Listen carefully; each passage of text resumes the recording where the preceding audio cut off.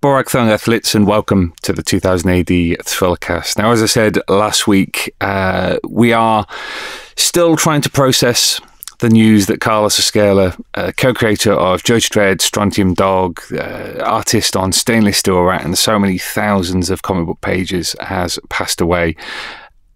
The first thing we wanted to do was to pay tribute to him on the 2000 AD Thrillcast. So in this episode, we've talked to some of the people who knew him and worked with him, some of the people who've been influenced by him in later years, and just a fraction of both categories of people. Um, it's an opportunity to get people's take on Carlos's influence, his legacy, and what he was like as a person. For those of us who were fortunate enough to meet him, talk to him, then uh, we'll be, I'm sure, all feeling uh, particularly stunned and still very, very upset that the master, King Carlos, is no longer with us. So hopefully, this will be an opportunity for just a few people to talk about what Carlos and his work meant to them. If you have tributes of your own to give, then make sure you send them to us at thrillcast at 2000ad.com. Also, uh, tweet or Facebook us uh, at the 2000AD accounts, and uh, we'll do our best to retweet and share as many of those as we possibly can. At the end of this episode, we're going to return to 2015, the dawn of the Thrillcast, where we had Carlos on to talk about the birth of Judge Dredd and his work for 2000 AD. In the meantime, we've got some chats with, as I said, those who worked with him, those who knew him, and those who were influenced by him. So, to talk a bit about Carlos uh, and his work and his legacy, um, I welcome Matt Smith back into the studio, editor of 2000 AD, and somebody who's worked with Carlos for uh, almost 20 years now. Yeah. Um, tell us a bit about your your relationship with Carlos. Um, yeah, I mean, it's, it was always very, very friendly and fruitful. Um, I was a, a, big, a big fan of his of his work as a as a reader when I when I you know, when I first started reading the in the prog back in 1985. Um, I think about a couple of a couple of issues after I started reading it, um, the big Bust of 49 started, the Strontium mm. Dog story. Um, so I think that possibly may have been my first um, first um, introduction to Carlos's work and his art's always always been a favourite of mine. It's also so you know powerful and clear and um, full of humour and um, and uh, just just so easy to easy to easy to read mm. um, that um, I always loved it. So it gets a you know um, to get the chance to to um, to work alongside him was was was lovely and and he's and he was he was absolute absolute gent. Um, and very, very, um, very accommodating with deadlines. He, um, I mean, I've, I've, you know, I've, heard, you know, ever since you know he started work for 2000 how you know how quick he was. You know, he was doing episodes of the Apocalypse War sort of in, in a week. You know, mm. um, but um, but he's you know he, when he when he uh, when you when you need him, so he can he can really pull out the stops and and deliver and deliver the pages. So uh, so he's very always uh, always a great great uh, great artist for that. Mm. It, it, this isn't in any way to to to uh, diminish his work because it was always fantastic, but. He, he nonetheless had that um, feel of being a journeyman. He was he was uh, he was a commercial artist. He was somebody who was able to deliver to deadlines. But the fact he was able to do it in this incredible style, yeah, uh, and and you know consistency. I mean, you, you look across the last 40 odd years there's an incredible consistency to yeah, what he does yeah i mean uh, i think i think that's part of the um, the what makes Strontium Dogs so good as a body of work is is because he was he was pretty much the sole artist on it right through from the from the late seventies right through to the eight most of the eighties. Um, and it is it is almost all of a piece. It's so so consistent. The artwork is is so solid. Um, that I think I think that's that's part of part of Strontium Dog's success is it's is it's um is it's such a it feels like such a um strong strong uh, universe that, that, that that him and him and John and Alan Alan uh, created. Mm. Um, but um, but no, I mean Carlos is is is is was one of the one of the perfect artists for 2000 AD for 2000 editor in terms of uh, is amazingly good Mm. and amazingly fast and reliable. and that's, Well, that that, that, that that's- that's- rare that's- Venn that- diagram Exactly. thing. Yeah. That's, that's that's what makes him. That's what made him one of the one of the top droids. In Mm. that he had all the elements that you you, you could want from a from an artist. Let's talk a, a little bit about his relationship, his working relationship with with John Wagner uh, and also Alan Grant as well, because uh, all three of them worked together for a very long time. What do you think was the the secret of the success of that partnership? Because you look at the different elements. You know, John's um, got a great sense of action, um, very terse, uh, almost monosyllabic sometimes in these scripts. Alan's got a lot of heart. Carlos has that grittiness, that uh, you know, that that dynamism but it almost felt like, particularly things on uh, like on Strontium Dog, Apocalypse War, things like that. It's, it almost seems greater than the sum of its parts. Um, yeah, I mean, I think I think Carlos Carlos loved working with John and Alan. I think because they let him get on with it. They they they knew that he he was good at creating characters. They they knew they could rely on him to um, to um, put whatever what they wrote in the page Yeah. in onto you know realize it into artwork. Um, so um, so I think they they they worked well together because they knew they they knew they could rely on each other. Um, and John and Alan are kind of similar as writers as Carlos was in that they they pretty much were you know were, were pro- you know professional writers and they would they were they were working to deadlines and considering the amount of work they were doing during the 80s when they were you know writing half the prog on Robo Hunter and Dredd and Stront and um, and doing stuff for Scream and stuff for um, Eagle as well. Um, I mean, Alan has mentioned that whatever they got paid, they got paid for the script they wrote. There were no royalties back then, so they had to they had to they had to write a certain amount a week to get to get their paycheck.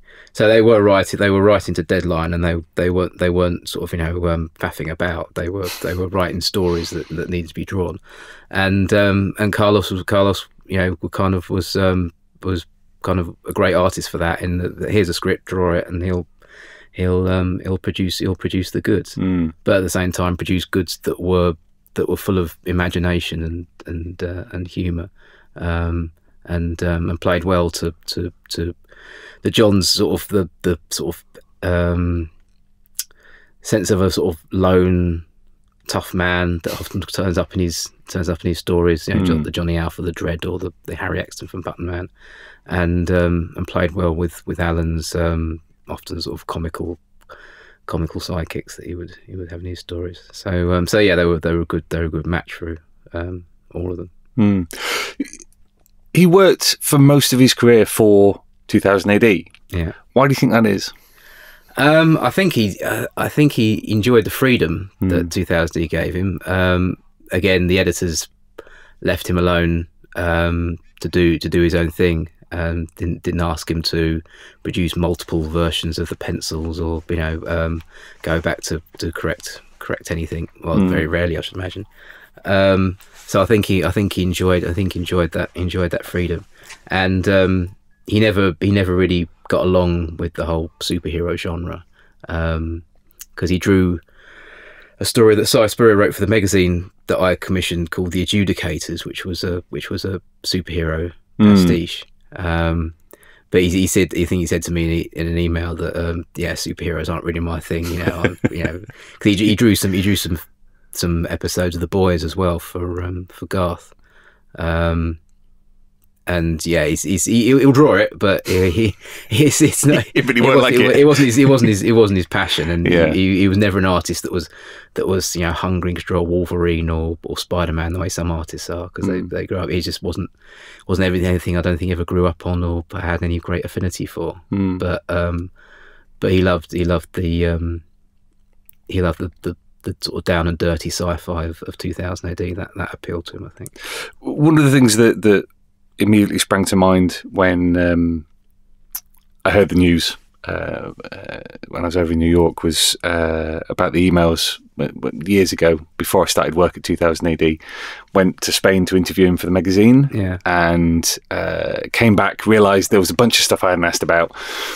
Hurriedly emailing him while receiving emails from you going, "The deadline is tomorrow. Please can I have this feature?" And uh, I think it was the the last of the three features I did, and I was starting to panic. Didn't hear anything back from him. Thought, oh my god, I've I've offended him in some way. And I think about three days later, I got an email from him saying, "Hi, Mike. I'm sorry I've not replied to your uh, email. I'll, I'll get the answers to you this weekend. Uh, I'm in intensive care. I've had a lung out." Uh, yeah. And sure enough, on Saturday morning, those answers popped into my uh, uh, in, in inbox. And you know there was no no further mention made of uh, his slight difficulty. Yeah. What what what are the kind of stories about dealing with Carlos that popped into your mind? Um, well, it's it's.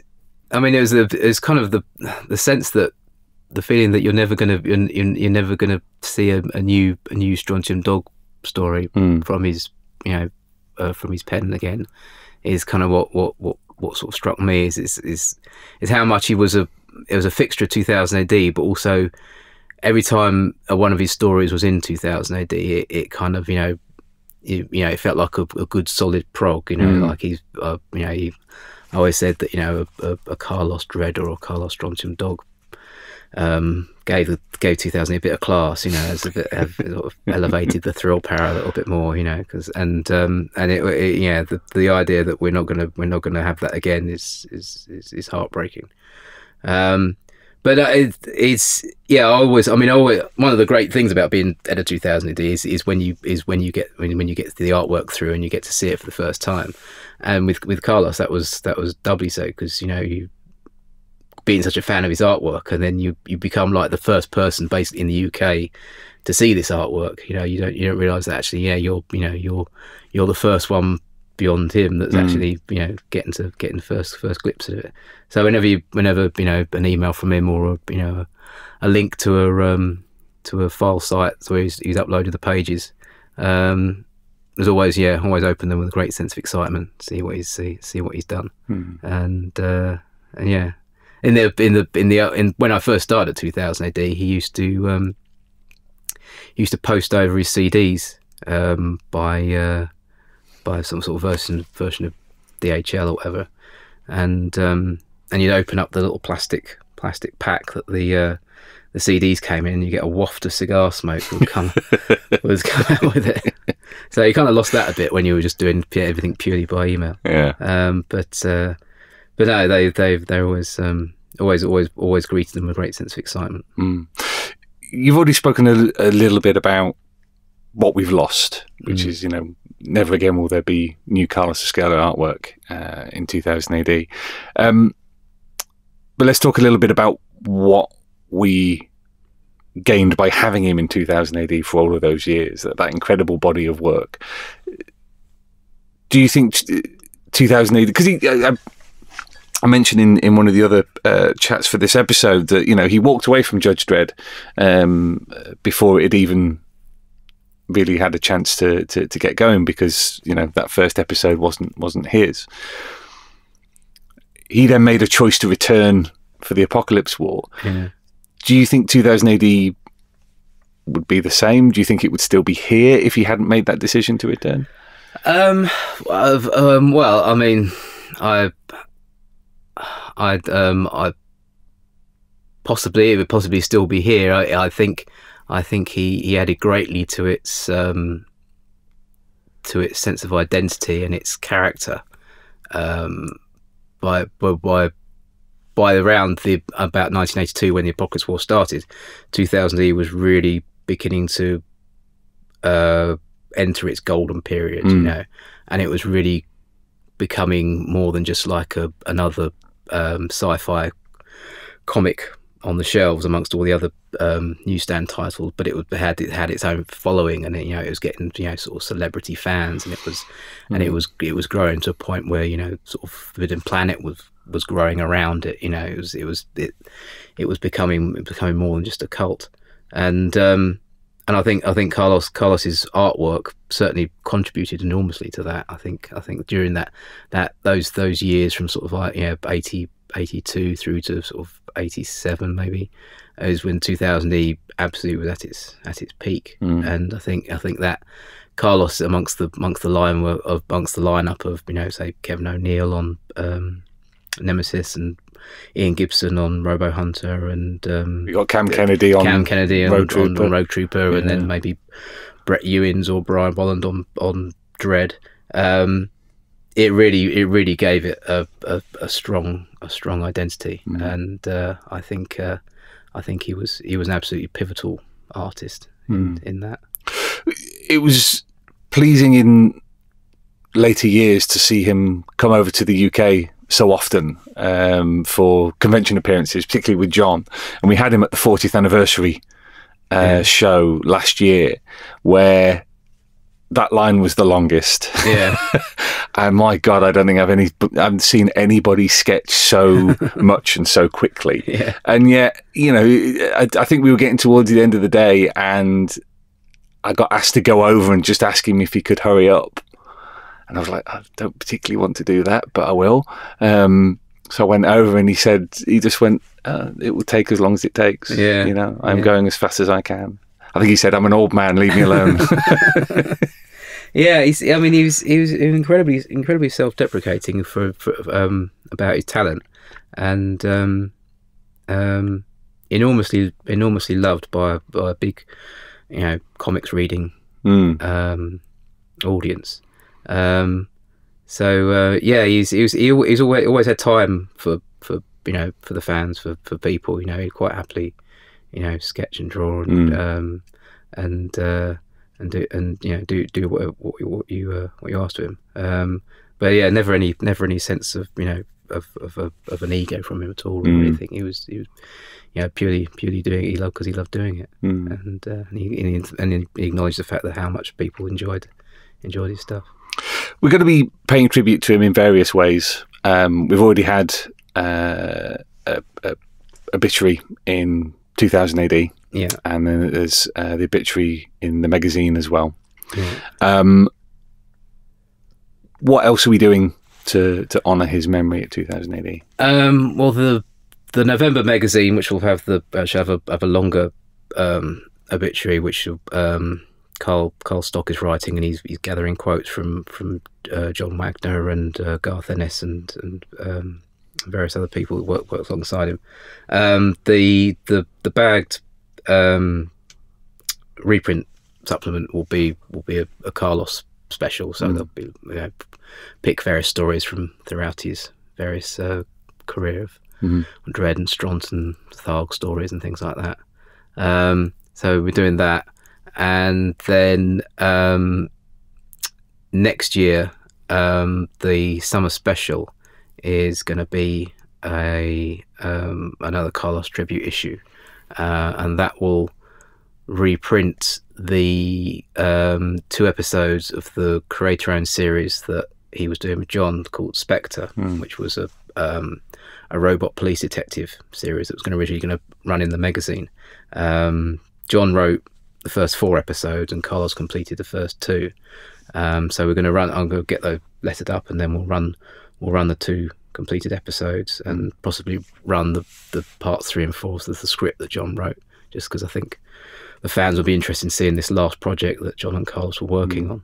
Um, Because I mean that that's a real shame because that was their first new character in in years, yeah, it's it? the first first first new character they created together since Al's Baby Mm. back in back in the beginning of the nineties. So um, so yeah, so this was this would have been yeah this would have been um, quite a you know quite a sort of milestone for for them. Um, but um, but yeah, so that that that will be kind of like the centerpiece of the of the summer special. These this uh, these these episodes from this story, and then um, the stories around it will probably be um, Carlos creations. I'll ask other writers an artist, they want to want to do stories based Mm. around those. Okay. Um, so yeah, and uh, um, the the and then we'll, we'll, we'll the issue will be that will be available from the web shop will um, have the proceeds go into cancer charity. And in terms of what we now do, going into the future, um, uh, Carlosless, um, have you paid any thought? Is it too soon to think about what we're doing with characters for which he was so well known? Um. Well, yeah. I mean, I mean, Dredd will continue as Dredd Dredd always does. Mm. Um. Uh. I. I can't see there being any more Strontium Dog. Mhm. Um, it was always, it was always, I mean, pretty much. Well, certainly the the, the post resurrection stories and um, was always pretty much John and Carlos's Mm. baby. And um, I'm I'm not sure John will be interested in writing anymore without Carlos. Um, that may that may change. He may he may he may feel he wants to do another story and another he might have an idea for another artist to do it. But I I certainly won't push on it to Mm. bring to bring you know Strontium Dog back because I think it's um, I think it's it's so um, synonymous with a with a particular artist that it feels uh, it feels um, unnecessary to um, to do it unless the creators are fully behind it. Mm. Um, and um, um, yeah, beyond that, um, no, I don't think there are the, the there are any other plans for any of these characters will be will be um, re- reused. I don't think. Mm. Um, so um, yeah, no, it's it's will you know will, I mean I think the 2000 is as as an entity will continue to to honour his legacy. I think Mm. because he's he was such a big part of it. One of the people who worked with Carlos in his later years was Garth Ennis, who was a writer on lots of uh, World War II comics series. Uh, he had some wonderfully warm and uh, very interesting words to say about uh, not just his relationship with Carlos in terms of his work, but also his influence on him and uh, in comics in general. I had a chat with Garth at New York Comic Con. Do you want to uh, tell me a little bit about your, your kind of your first exposure to Carlos's artwork and, and your reaction to it? Because I notice you you have a rather glorious Apocalypse War page Yeah, on I your wall. Yeah. Um, so it would have been in 2000 AD. It would have been, it would have been on Dredd. Um, he did those first couple of episodes. Uh, the one with the gorilla, Yeah. the one the kind of King Kong robot. He did the one uh, where Dredd actually has to fight Call Me Kenneth in his initial guy. So that it would have been there. Yeah.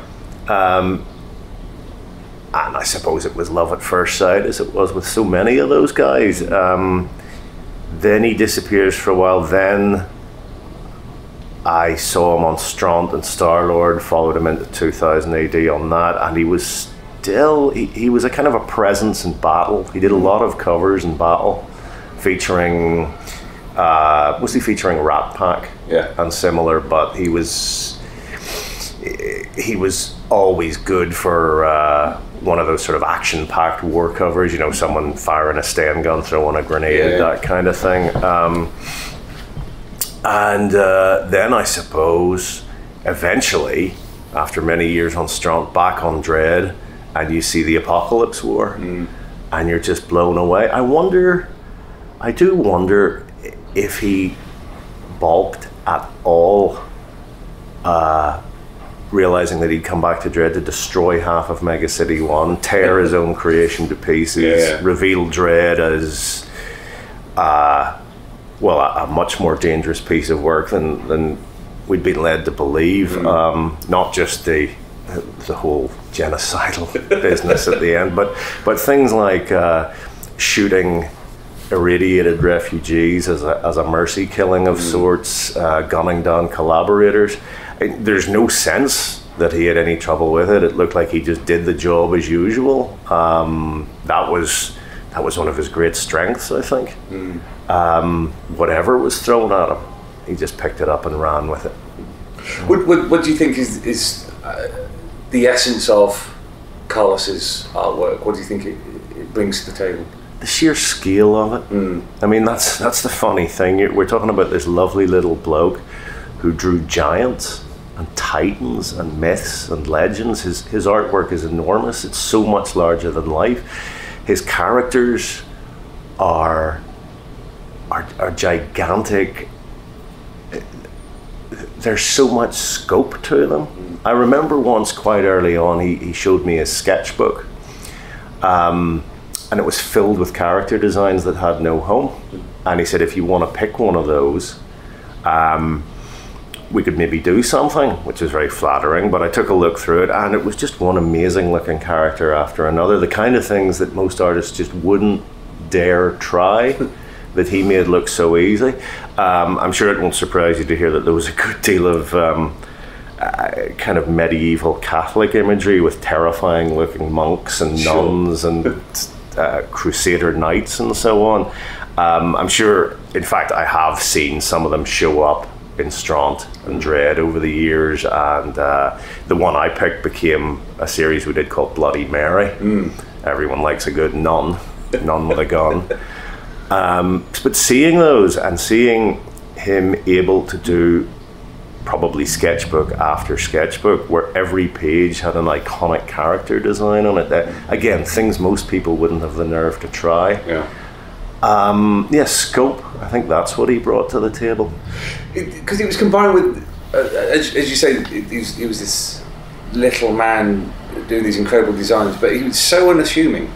You know, there was, there was never a hint of arrogance, Yeah. despite everything that he'd done. Yeah, yeah. It, it was a great pleasure to be able to uh, write a war story for him that was actually set in his own country. He he never, as far as I know, been able to draw a story uh, that involved the, the defining conflict of his country for the 20th century, the Spanish Civil War. I don't even know if he ever got to draw a, a story set in Spain at all.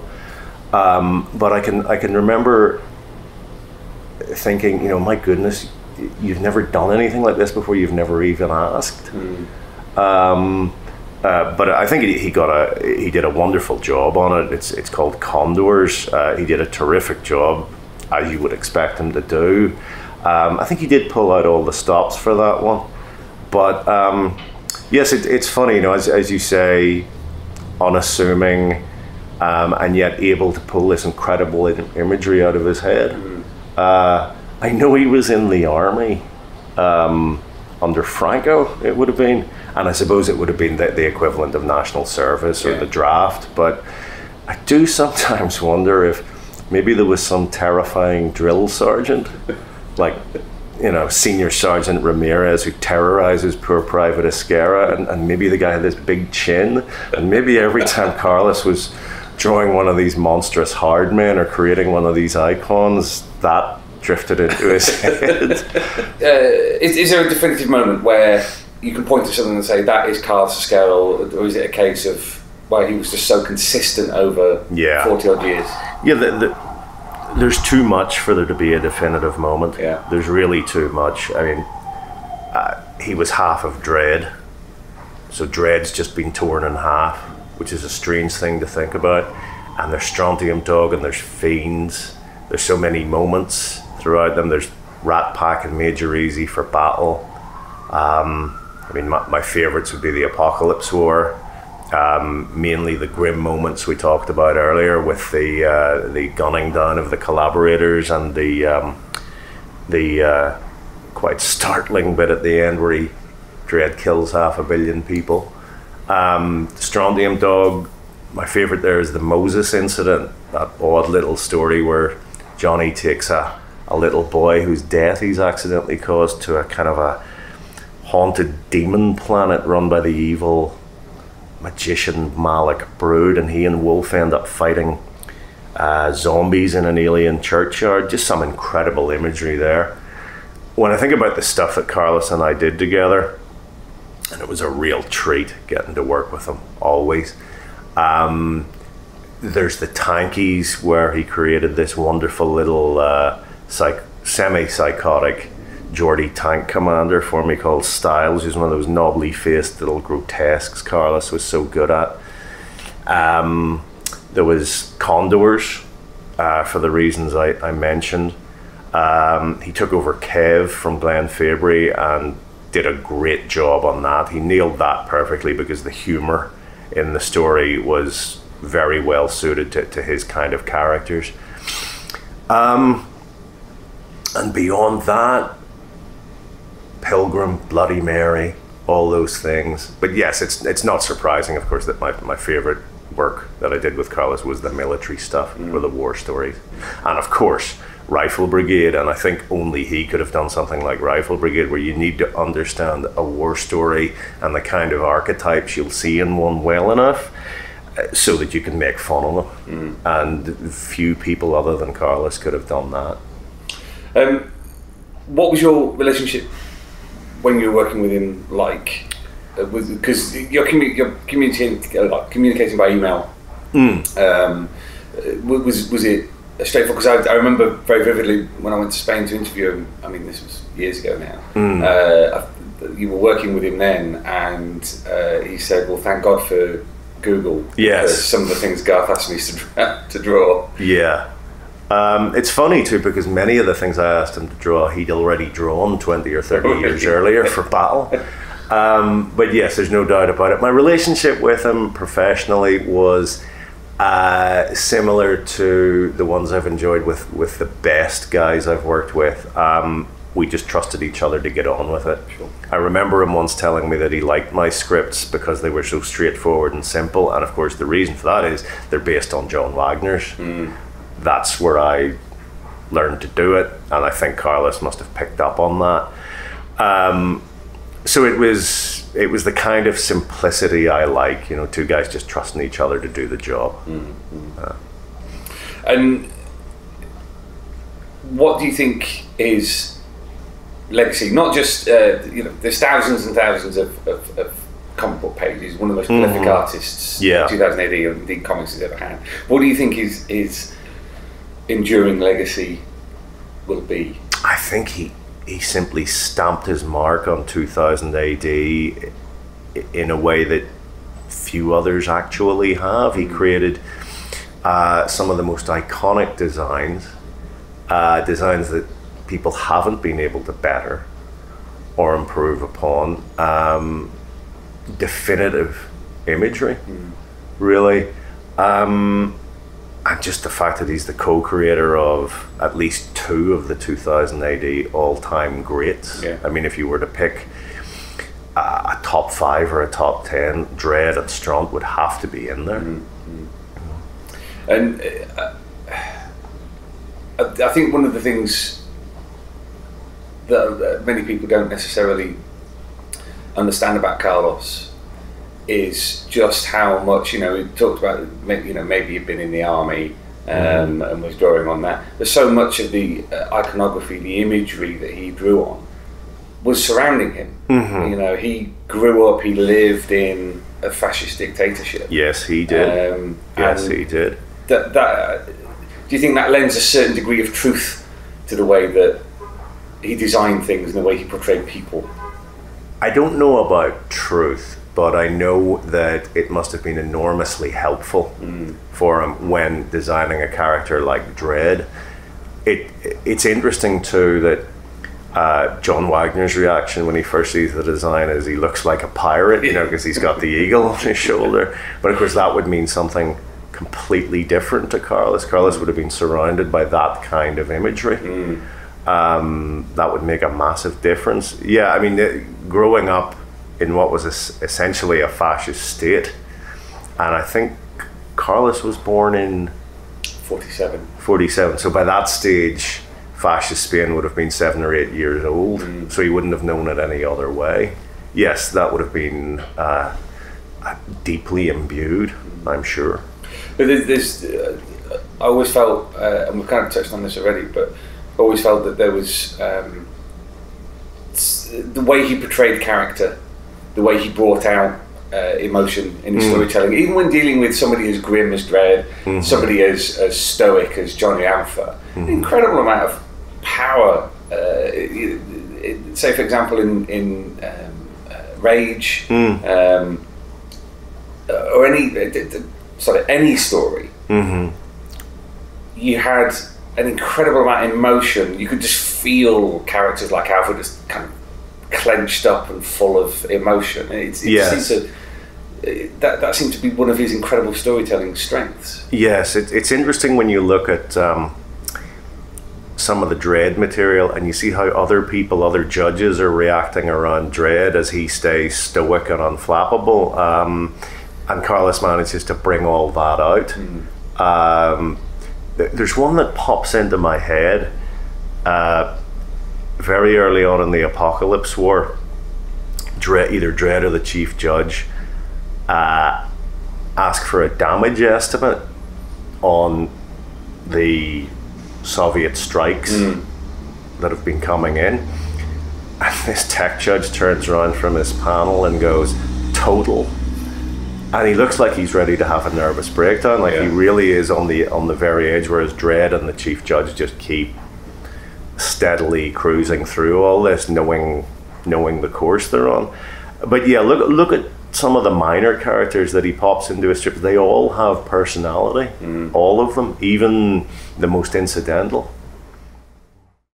So, one of the people who worked very closely with Carlos back in the early days of 2000 AD was editor Kelvin Gosnell, who wasn't just Carlos's editor, but was also his co creator of the adaptation of Harry Harrison's Stainless Steel Rat. They worked together for many years, and uh, it's great to, to be able to talk to Kelvin uh, now on the line to get some of his recollections of working with Carlos. Kelvin, what's your earliest memory of Carlos? Earliest memory, um, I think him coming in um, with uh, the samples for Judge Dredd that uh, John had scripted, Hmm. and um, being knocked knocked away by the whole thing, you know, because it was just so good. It was a different a different way of looking at things. Um, at, um, it was just so exciting. Because both uh, Pat Mills and John Wagner have, have referenced this this moment where uh, they see uh, Carlos's designs for the first time, and for John, there's that very famous line, uh, "Oh, he looks like a fucking Spanish pirate," um, and uh, Pat has talked about how all of a sudden his his uh, as you say his vision of the strip changed. You know, it went from being a relatively near future kind of death race um, uh, uh, style strip to, to being a, a, a, a more futuristic, a more sci-fi um, uh, story. Um, If I can interrupt you there, by all means. that is exactly what the whole working with Carlos was all about. Hmm. In that, um, I've said before, he was. It, it sounds a terrible description. It sounds too calculated, but he was an editor's artist, Hmm. editor and writer's artist. In that, you sent him your ideas, your stories, and he gave them back to you exactly as you'd asked for them. But there was always that piece of improvement, that little bit of verve, that slightly different angle, which made it much more special. So that obviously is what John and Pat were talking about. The idea went out of futuristic cop, but came back as something much, much more, Hmm. with much more potential and much more, much more. It's a sexier idea when it came back. Because Carlos had been um, working for some time by that point on British comics. He'd been he'd, he'd worked on uh, romance comics. He'd worked on war comics. You know, he'd he'd, he'd been a great success at uh, Battle. Um, was he an obvious choice for something like Judge Dredd at the time? Um, hmm, it's a very difficult question. I guess, with the benefit of hindsight, um, which we all know is 2020 vision, the answer is yes. Hmm. Um, but perhaps at the time, not quite so much. Um, but I think, again, to go back to what I just said about his ability to do something different, something with more style and more energy in it than you thought you could ever have, then yes, he was a natural choice Hmm. for the part, although it might not have seemed so at the time. But there again, at that time with 2000 AD, all the cards are in the air, um, and let's see what comes down when you throw them up. Mm, mm. Of course, he, he he very famously walked away from Judge Dredd in uh, at the very early days because he he, he disliked the fact that um, the first episode was not one that that, that he drew.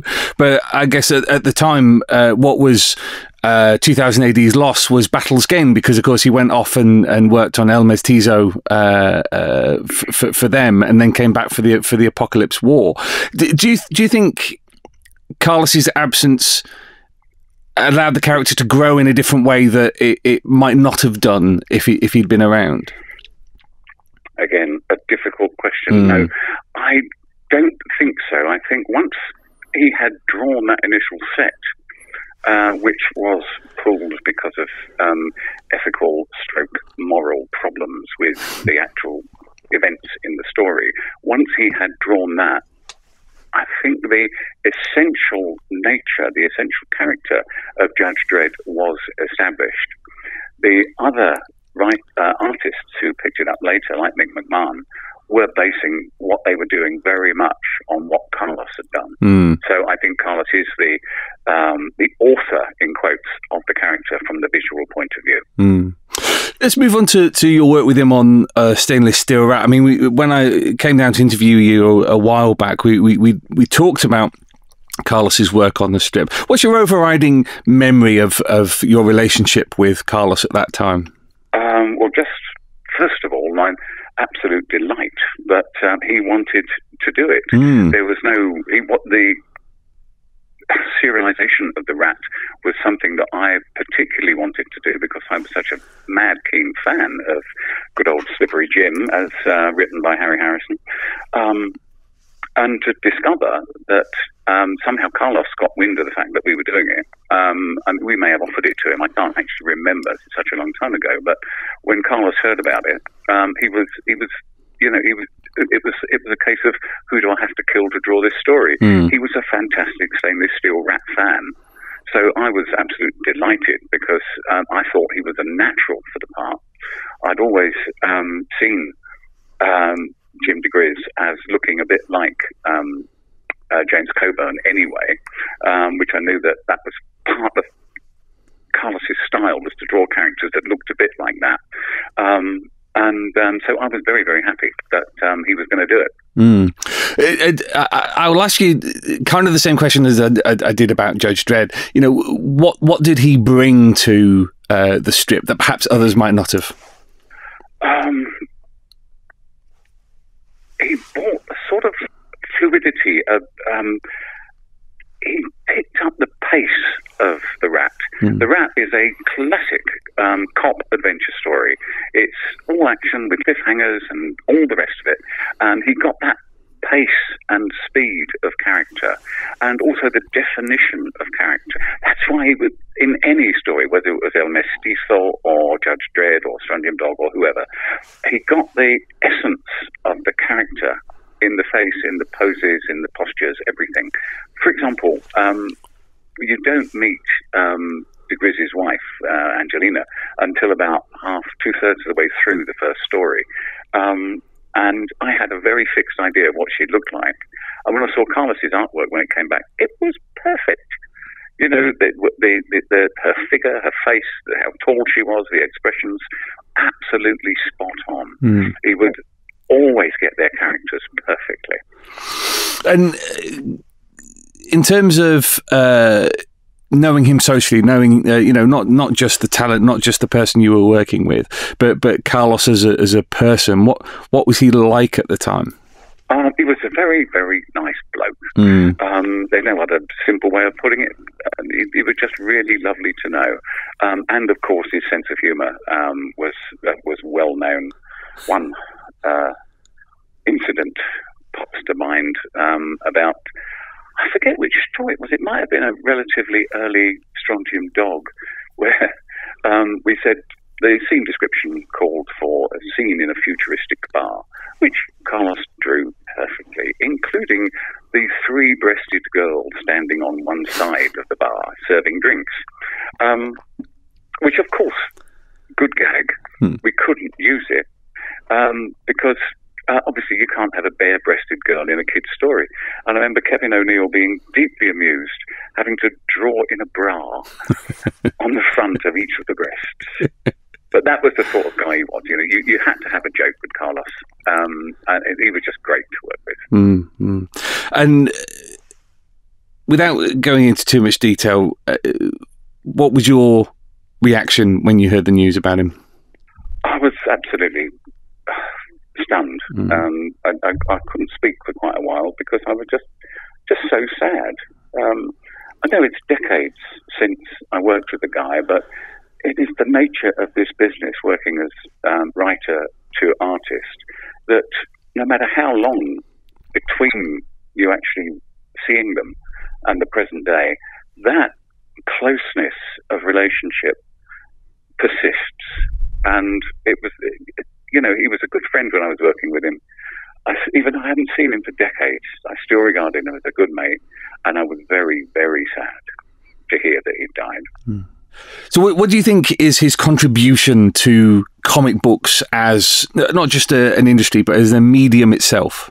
I think that this is the most important thing with Carlos, which is often overlooked um, because of the nature of the business, the nature of the medium, it's, and that Carlos has often been said to be the definitive 2000 AD artist, in that, as I've said, he would always do something new. He would put some, uh, his own personality and and edge and verve into it, and he did this with his work on 2000 AD, be it Strontium Dog or Dredd or or The Rat.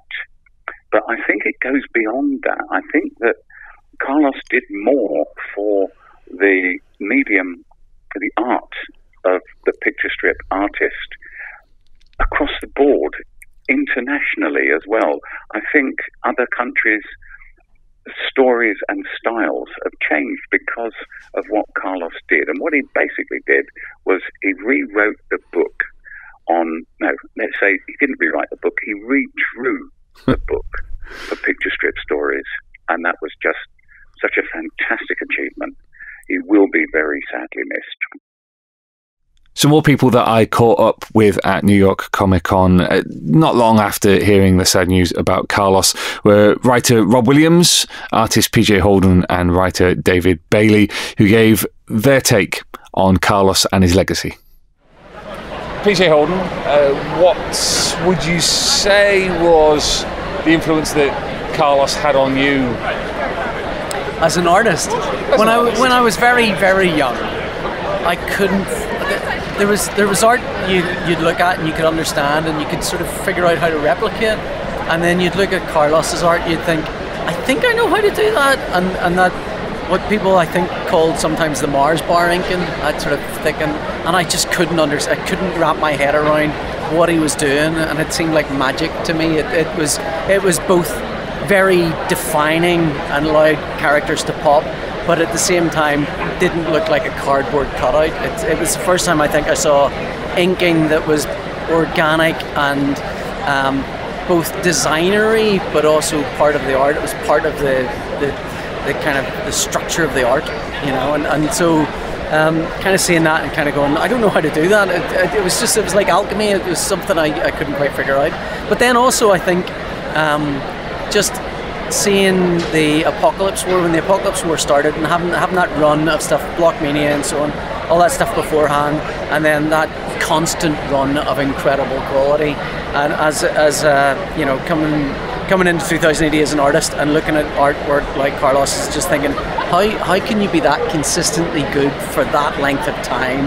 You know, it's just it's an admirable and I, you know, I don't even know now if there's anyone could be just that consistent over that length of time. I mean, you look at the uh, the Strontium Dog serials that he did. You know, think, uh, things like Ragnarok. Yeah. Uh, things like Rage. These went on for months Yeah. and months and months. And uh, you know, I, I discovered them in the Best of 2000 AD monthly, Yeah. and there is no appreciable dip No. in quality No. at all, or, or change in style. So, so many artists, and this isn't necessarily casting any aspersions on anybody, but over the course of a project, artists tend to get faster, Yeah. mainly because they're coming up against deadlines. But um, uh, the because disappear. yeah, And yeah, that- that never happened and, with him. and, and, and people, yeah, people kind of, um, Yeah, oh, yeah, they, they learn how to just cut corners. Carlos's it's always the Carlos's. Carlos's work, it looked.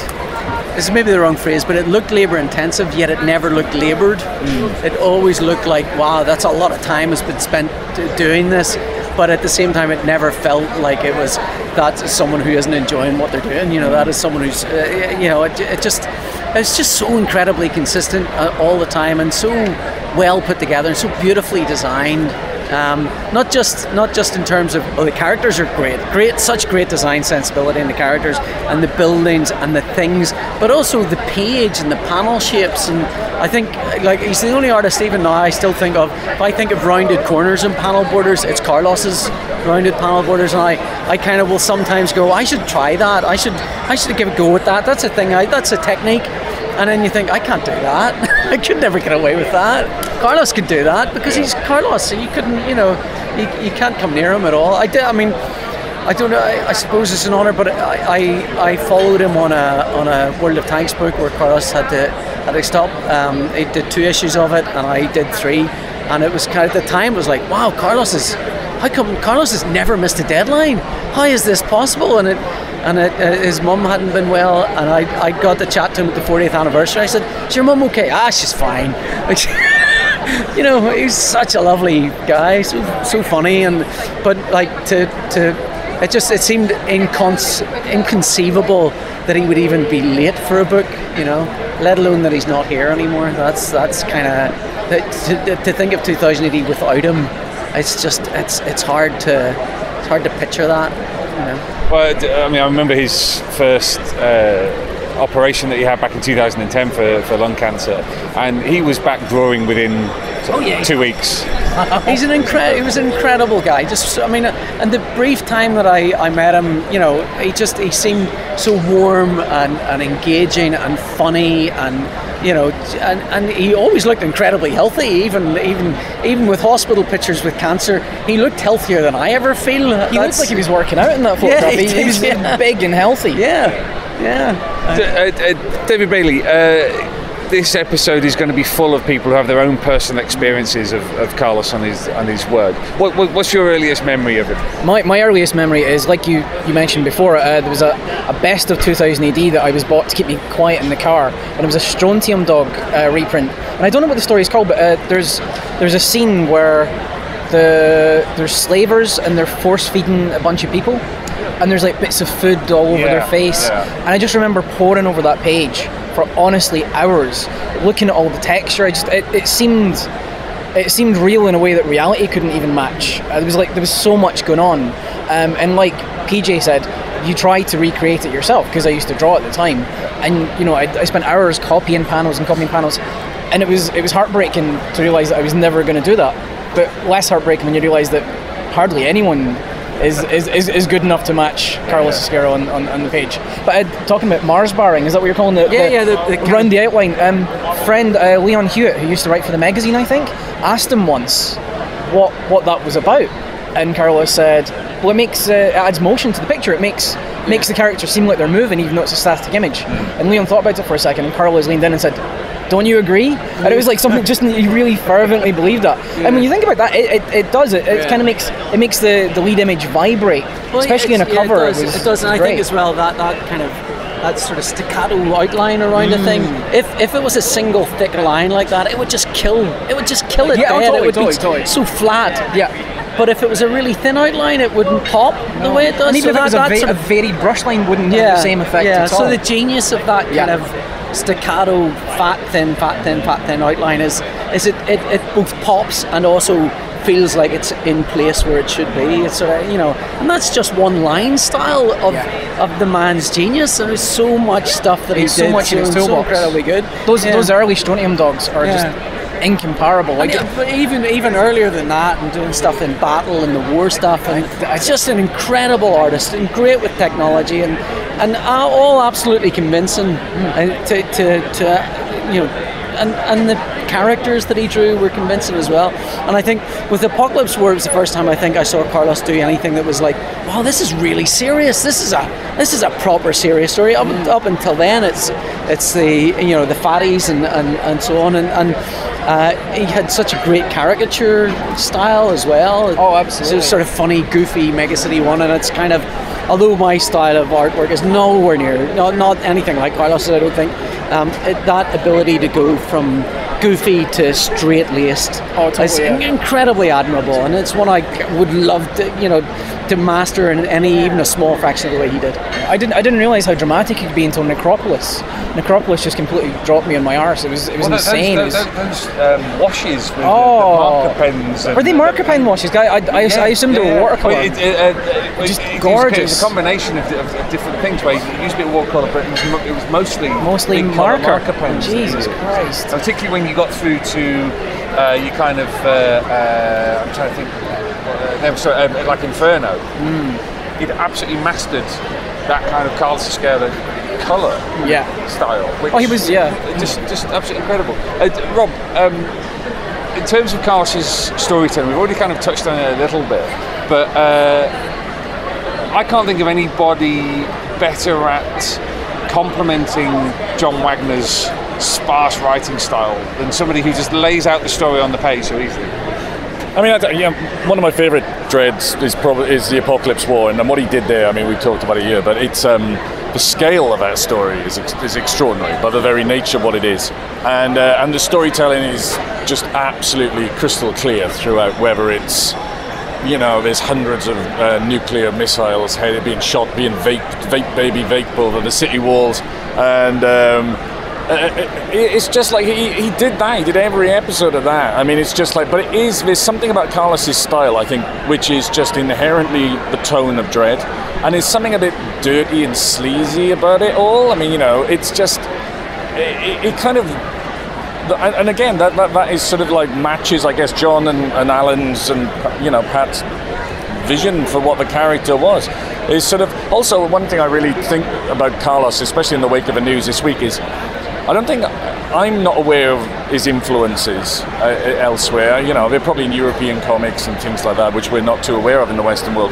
But no one else kind of went and copied Carlos either. There's not a lot of Carlos clones out there. Do you know what I mean? He just had a singular style, which Yeah. just like, which was, you know, which is amazing because you know how good he was as well. It's it's it's amazing there wasn't a bunch of people you could see, or you know, that you could see Carlos there. Because McMahon was brought in specifically because he could draw like uh, uh, Ezquerra at the beginning. Yeah. Uh, and ended up drawing the, the, the first published episode. But he then very quickly developed his own style that, that became so incredibly distinctive. Yeah.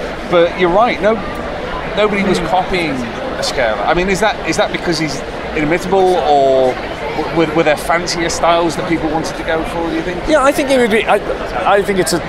It would be easy to take him for granted over the years because he was so consistent and he was so good, and, and, and his, you know, after the initial Starlord stuff, I mean, his style seemed to sort of like didn't change that much past the point. But I think also where you got to, from a writer's point of view, right? You look at like, for me, the best panel in Dredd's history is Request Denied, right? And even then, he splits that up into three little staccato panels. He doesn't do it as one panel. It's like and that's like he's thinking about the storytelling there and the beats of that. You know what I mean? And and um, it's just a, just amazing storyteller, I think. And I think it's it's kind of easy if you're the you're the full complement. If you can do the scale of the Apocalypse War and you can tell the human aspects of the story as well, and still have that kind of rather sort of sarcastic, sardonic style inherent in your, you know, but it is in the character and in the tone of how John writes him. Um, yeah, yeah, you can make an argument for like Carlos is the ultimate Dredd artist, basically. You know, uh, and that kind of ignores his Strontium Dog stuff, which is like Yeah, yeah. unbelievable. It is But, yeah. incredible. It's gorgeous. So I, I, I always remember um, uh, the taking of Sector One Two Three, uh, which is you know part of the wider uh, uh, uh, Pit storyline, and just going back to it recently because I think it was in the Mega Collection, um, seeing just episode after episode after episode of carnage, you know, Dredd cutting down dozens and dozens and dozens of, of, of bad guys and it never gets boring. It never gets dull. It's always got that sharpness and that sense of. Oh, it's a cinematic. It's it's it's, it's, it's so it, uh, you know not, not not to kind of labour the point, but it is that uh, spaghetti western Yeah.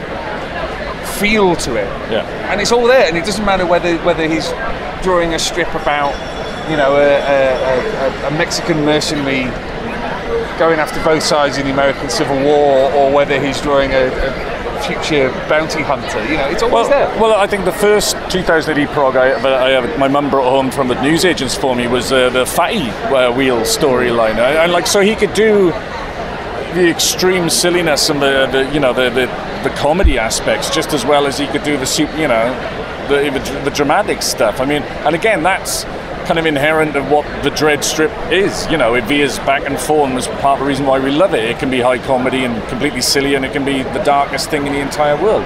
Um, so it was like his tone just didn't lend itself to sort of different styles of storytelling as well, because he's just telling the story very well. You know.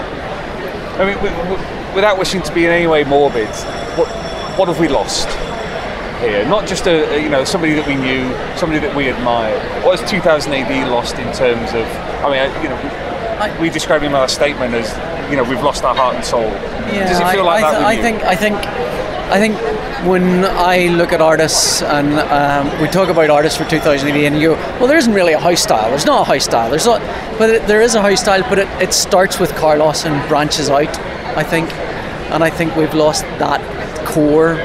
Um, it doesn't mean to say that we, we've lost everything around that, and and I think Carlos's influence. I mean, he's left so much amazing material that, that will always be there and it will always you know it's just the thought that there won't be new Carlos is how hard to bear a little bit um, but yeah I, I, think I think he if you if you want to think about a, an art style for 2000 AD it starts with Carlos I think and it, and it branches even Mike McMahon's art style you go well okay that's thing but that started with Carlos and moved out and everything is measured by the distance from Carlos. You know, uh, you, you, anyone, even me, or, or you know, or an artist like Steve Dillon, who's very different from Carlos.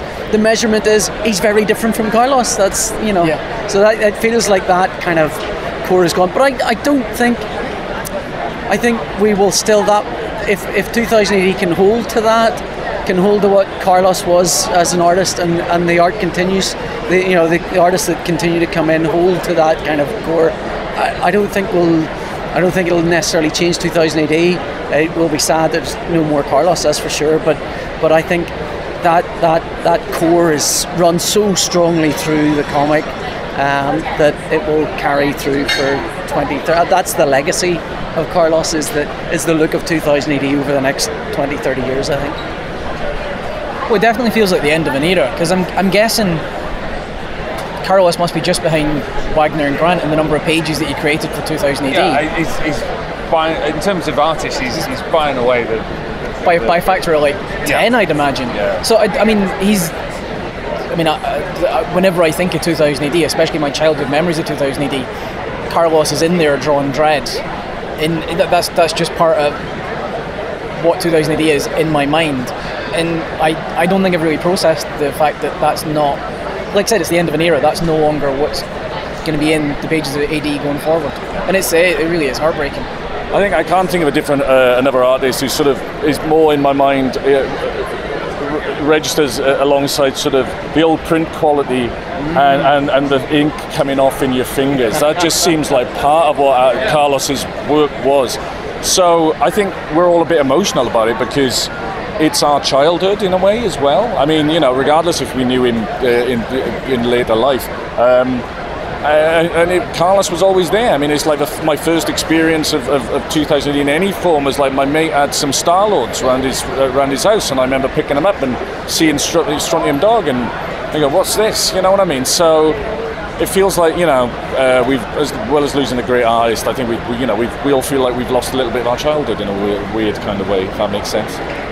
I think we were very lucky to have Carlos with us for as long as we did. Because by rights, when you you know stuff that you enjoyed in your childhood, you don't get to have anymore as an adult. It's gone.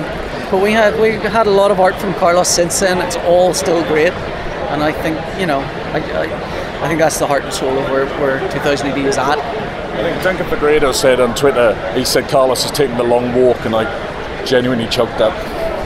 So yeah,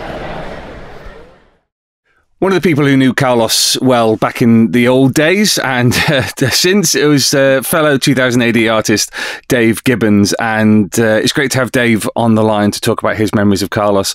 Dave, uh, tell us a, a, little bit about your experience of, of Carlos as as a person. Carlos as a person, well, we would we wouldn't meet very often. I mean, in the early days, uh, the thing was that we shared the same uh, art agent, which was Bardon Press Features, mm. uh, in the person of Barry Coker, who uh, placed a lot of uh, British and European artists over at Fleetway and Thomson's. So I would occasionally bump into Carlos in the in the office, uh, and we'd have a chat. But back in those days, and we're talking about the 70s now, the mid 70s. Um, Carlos's English wasn't so good, so it was always an, an, an experience to to have a chat with him because there, there was there was a lot to say from Carlos, and he, he had a mischievous sense of humour as well. But it was kind of a question of decoding it or trying to tr- tr- tr- trying to translate it. I mean, it, later years, we tend to bump into each other at uh, comic conventions and things. And of course, over the years, his English became much better. And, uh, you know, we would have some very amusing little chats. Always, as I say, the thing I remember is the sense of mischief uh, Carlos usually had. Paint us a, a, a, picture a little bit of, of, of those early days because uh, Carlos had, had moved to Croydon um, mm. to, uh, to, to to be closer to the centre of production, shall we say? Yeah. Um, uh, you only meet occasionally, uh, but what what was this? Was there a, a, great sense of camaraderie amongst the people working on 2000 AD at the time? Um, I I think so. Uh, I, I, mean, um, obviously Carlos was one of the absolute godfathers of the of the whole thing because you know his stuff. I think more than any other artist has run through 2000 AD from the very early days right up until almost the present day, whereas others of us, although we might in one sense be long term 2000 AD artists, have sort of come and gone or, or better known for certain eras mm. of the uh, comic. But Carlos was one of those great constants. Um, I, and I mean, the thing that struck me about Carlos from the very beginning was what a wonderful character designer he was. I mean, obviously there was Dredd himself, which is very much Carlos. Uh, Johnny Alpha, uh, um, El Mestizo, I think that was the name of the mm. Western strip he did. Um, I, I, mean, he, he, he, he, just, you know, um, illustrated some wonderfully distinctive um, characters. And I, I think um, I think the fact that we, we worked through the same agent had something to do with it as well, because Barry represented myself and Brian Bolland um, and Carlos and a couple of other people whose names escape me for the for the moment, but but we felt like we were on the same on the same team, mm. uh, and um, you know we almost like we lived under the same roof. Um, and um, there was there was one particular thing that we did through Bardon Press Features, which I suppose kind of crystallised that. And this was um, this was a comic that we did for the Nigerian market. Some Nigerian advertising people had approached Barry Coker and said, you know, we want to put out um, a, a comic in Nigeria because the only comics you get there at the moment are kind of reprints of British comics, and they all tend to feature like you know blonde World War II fighter pilots or cricket stars or cowboys, you know. And it, it, would be a great idea to give Nigeria its own in, indigenous comic book stories. And I, remember we had slight misgivings because we thought, well, aren't there actually artists in Nigeria who can do this? Um, but apparently not. So uh, myself and Brian Bolland alternated on the adventures of Power Man, who was a sort of a black Superman, I mm. guess. And the thing that Carlos drew, um, again, I'm blanking on the name of it, but it was a space invasion thing by this race of aliens called, I seem to remember, called the Hornu, who had sort of unicorn horns growing out of their foreheads, which sounds kind of dopey, but Carlos managed to pull it off. And it, it was rather refreshing change because rather than the space aliens invading Britain or America. They'd actually invaded Africa, so that there was a there was a really different flavour to the stories. And so um, us three in particular would, and Ron Smith as well worked on some some of the stories for those comics. And it was a fortnightly deadline, and I think that that kind of built a camaraderie, and that's where we bump into each other when we got into the office on press day to deliver our work. Mm-hmm. And uh, in terms of something like 2000 AD, uh, you know, there's there's uh, yourself, there's Mick, um, there's uh, Kevin O'Neill, uh, Ron Smith. You know, there's there's there's this kind of a, a team of, of, of, their own of, of, people working on 2000 AD.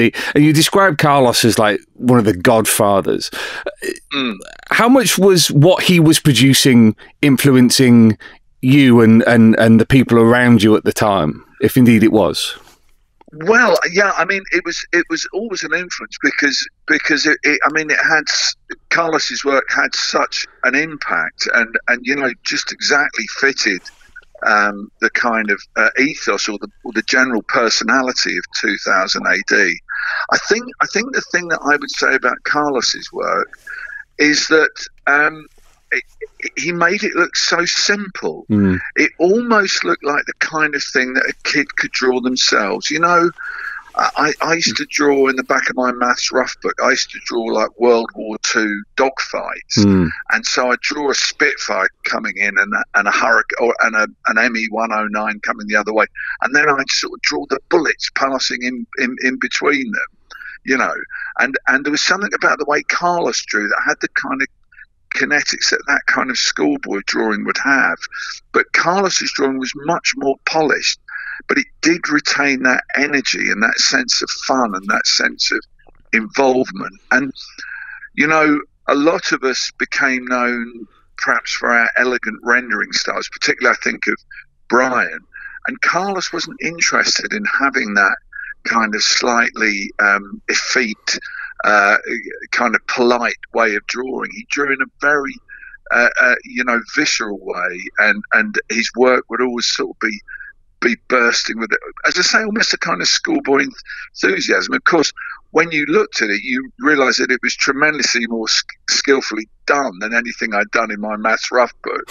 but it still had an informality to it and a lack of a lack of any surface that would that would off put the reader at all. Mm. And he was always he was always about the drama. He was always about the nitty gritty of the characters. I mean, when I think of, of his sort of range of facial expressions and the, the, the kind of you know the way he posed figures as well in a very straightforward but really interesting way so that you were you were never in any doubt as to what the story point was and really to my mind like all great comic artists it was all about telling the story and the drawing was really just incidental the Mm. drawing had to just be good enough to dramatize the story that he was trying to tell um, so that that that I think was something about his art. Also, um, Carlos was really one of the first people, as far as I'm aware, to um, to use the computer for colouring on a regular basis. I mean, he used to do a lot of full colour work anyway, that would be watercolours and dyes.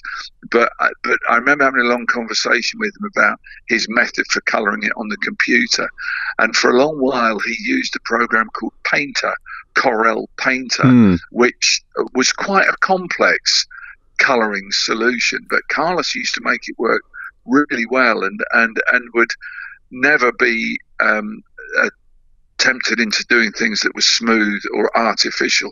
It always had that energy of being hand painted. So. You know, he was somewhat of a pioneer in that respect. Do, do you think it's possibly one of the reasons why he's not more well known outside of, of, of British comics or anyone who's come into contact with him through through the, the, the bits and bobs he, he, he did for America? Because um, it, it was less about the style and more about the storytelling. Um, yeah, I mean, I, I, I think that, um, I mean, his work I thought looked just great in um, American comics Mm. too, because again, they dealt in the sort of slightly la- larger than life tragic comic sort of stuff that 2000 AD did. Um, but I think really um, 2000 AD or Battle as well, for which he, he did many strips. I think the British comic scene was actually much closer to Carlos's um, attitudes. Mhm. Um, you know, American comics again tend to be a little bit more polite and a little bit more restrained. Um, so, I, I mean, he did some fantastic work there and was obviously, I mean, since the news of him passing away came out, I mean, there have been tremendous tributes from American artists who, whether in the American comics or whether in reprints of the British comics, are very familiar with his work and uh, recognise just what, what a great original talent he was. Mm. And uh, I mean, this is this is quite a broad question. We've already kind of touched on it a little bit, but what do you think his legacy is? Oh boy. Well, um, I mean, I think you would you would have to say Dredd because I, I mean, Dredd has clearly become one of those pantheon of uh, of comic characters that is that will last as long as there are comics or as long as there are comic strip based en- entertainment. And certainly um, I mean that is one of the absolute classic designs. Um, so I think that is really his legacy. I mean, it's strange. I, I, you asked me at the beginning of my personal recollections of him. Um, I was lucky enough once with Brian Bolland to actually go and visit him in Croydon, which seems such an unlikely place for a fiery Spaniard, Spaniard like Carlos to end up. Um, he didn't stay in Croydon very long because, as I remember him saying, I don't like bloody income tax. So, so that was why he moved to Andorra, where I, I believe they don't actually pay income tax. Um, so it, it, it, it, was that about England that repelled him, rather than, as you might expect, Croydon. Um, but I, but I remember Brian and I visited him, and it was fascinating. I only got a glimpse of him working, but he worked in a very straightforward and unfussy way. He'd pencil out really, really loosely and quickly from what, what I could see, hmm. and then he would ink with a. Um, it was like a cheap kind of platinum fountain pen with um, ink in it, hmm. and um, he would get he would you know dash the stuff down really quickly and then go back in with a brush and bolden some lines up. But he was he was a, a real no nonsense guy and could could really work very very quickly because. Um, because of his unfussy approach. And the other thing I remember about that day was that his wife Conchita, who was an absolutely charming woman, made Brian and I a wonderful Spanish meal with Spanish omelette and lovely salad and bread and everything, everything like that. And they were really the perfect hosts as well. And you know, um, I, I remember the kind of their warmth from that day, and I think that's the thing that I will remember the most about Carlos is his warmth as a human being mm. and his wonderful mischievous sense of humour. Another chat from New York was with Al Ewing and artist Simon Fraser, who also had some really interesting things to say about how they relate to Carlos and his work. So, uh, Simon Fraser, Al Ewing, um, Daniel Artist Alley at New York Comic Con. Obviously, a very sad week for yep. anybody who knows anything about 2000 AD. Yeah. What, what, has been your reaction to what, what, what has happened? Uh, do you want to go first? Um, I mean, I first reaction was just stunned. Yeah. Um, I mean, I had a little cry, frankly. And then I saw the drawing. Somebody put up a, a, a, drawing of his. He'd done one of the last ones he'd done, and there's a little 2000 characters in there, and he did a little Dante in there, and I actually cried again. so yeah, it was really upsetting. Um, I mean, it, I didn't really know Carlos very well, but he treated like you, like you, like he knew you really well. Yeah and that meant an awful lot because we all grew up yeah. with 2000 AD, and he was like he was he was like our uncle. I mean, John, you know, John's not that guy, but Carlos is that guy. He's like, just he give you the big hug, and it's like he's just the happiest guy to see you and the happiest guy to be there, and just the happiest, just most joyful, full of life. I can't imagine not them being not being around. It's just, I don't, it's, I don't know, I, you know, we all know, we all know. I still, I don't think I've processed it yet. Still, um, I've been, it's it's been, you know, it's been a, a busy week for me. This has always been sort of lurking in the background. Like, you know, eventually I'm going to have to start thinking about this. Eventually I'm going to have to like, but I mean, right now, I, I guess, I mean, I I was not lucky enough to know Carlos well. Um, I I met him on a couple of occasions. He was he was always very gracious and very friendly and everything everything Simon was saying there. Um, I so I guess right now my feeling is it's very similar to like when when Bowie died or when Ditko died. This this yeah. vast yeah. this vast man who was like such an enormous piece of your your personal cultural topography. And and now he's gone, and we're not gonna we're not gonna get any more of that art. We're not gonna get any more of him. You know, he's his work is complete. He's left us and that is yeah, that is something that um, we'll have to get used to. And you know, we're now in we're now in a post-Carlos world. Um, I I don't mean that you know I don't mean that to sound flippant or uh, but there is this thing of like the the the hugeness of the loss. Uh, and from a cultural perspective. And from like the perspective of part of your childhood, a part of your own personal history. You know, without without Carlos, there would be no Judge Dredd. Without Judge Dredd, would I even be standing here Yeah. in New York? Yeah. You know, yeah. Carlos is the reason. Carlos is part of the reason I'm here, and you know, he, he gave us all that, and now he's gone. And yeah, we're all processing it. We're all dealing with it. I've been I've been here at the table most of the, all day, and basically people have been coming past, and almost everybody said we're really sorry for your loss, as it's a personal loss, and it really is. And even people who didn't really know his work very well understand how important he was. Um, and I've been talking about his work all day, like you know the power of it, the, the things you learn from his work is. The sort of visceral power of it, and the fact it doesn't have to be right. You don't have to be right about everything you draw. It just has to mean something. It has to have that kind of like intention, and everything he drew had intention and power and strength, because he really everything he did he meant. His whole life he meant everything he did. He committed to it, and it's something to learn. As an artist, it's something to learn. As a, human being, it's something to learn. Um, he was a great exemplar of that, just complete commitment to everything he did. It's, it's been very nice uh, listening to people talk about, even if they didn't know him particularly well, but if they just met him or, or heard stories about meeting him, just as I said in, in, in our in our statement, it's it's rare that you get that combination of actual genuine genius, somebody who, who, who has a, had a profound effect on so Yeah. many people, and yet is so humble about it as well, and unassuming and and fun. He's just a fun guy. Yeah, he really was. I remember sitting the first time I ever saw him in the flesh. I sat beside, beside my UCAC. He was sitting there at the bar talking to I think John or someone else, and I was sitting there quietly going, I don't know. And I was like going quietly out of my mind. Um, and I think I eventually sort of said hello, and he was so nice about it, but it like, didn't mean anything to him. He said 500 hellos that day to people who were all completely intimidated by him. But he was totally charming and totally lovely, and that's how he always was. He was always just the, the nicest man. And I'm so sorry. I'm so sorry for his family, his friends, and everybody who's Yeah. like, because I know he was loved, and it's it's a big thing. One of the newer generations of uh, artists who have been influenced by Carlos uh, and his work at 2000 AD is Jock, who joins me on Skype.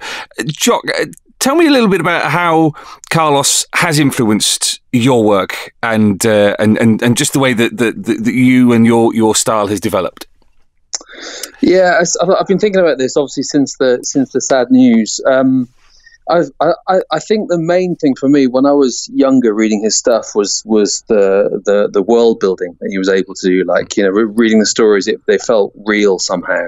Uh, and- and I kind of think all the best comic artists do that, you know, to, to varying degrees. But Carlos was was, was a master of it. I, I feel like um, I think uh, it was Portrait of a Mutant, maybe with uh, Johnny Alpha as, as a kid. I, I remember reading that, and and that was at the moment that something clicked with me with with, with Carlos's work, and, and I was just completely transported into the you know and it's quite a touching story as, as well for, for its time. And, and and I remember Carlos's work really uh, you know really really did it for me. And and from, from that moment on I was a I was a massive fan. I mean no, well, I, was, I was a fan anyway but but that's when I realized quite how kind of good he was. Mm, mm. And as somebody growing up reading 2000 AD, um, I mean, he, he was a, he was just always a presence there, wasn't he?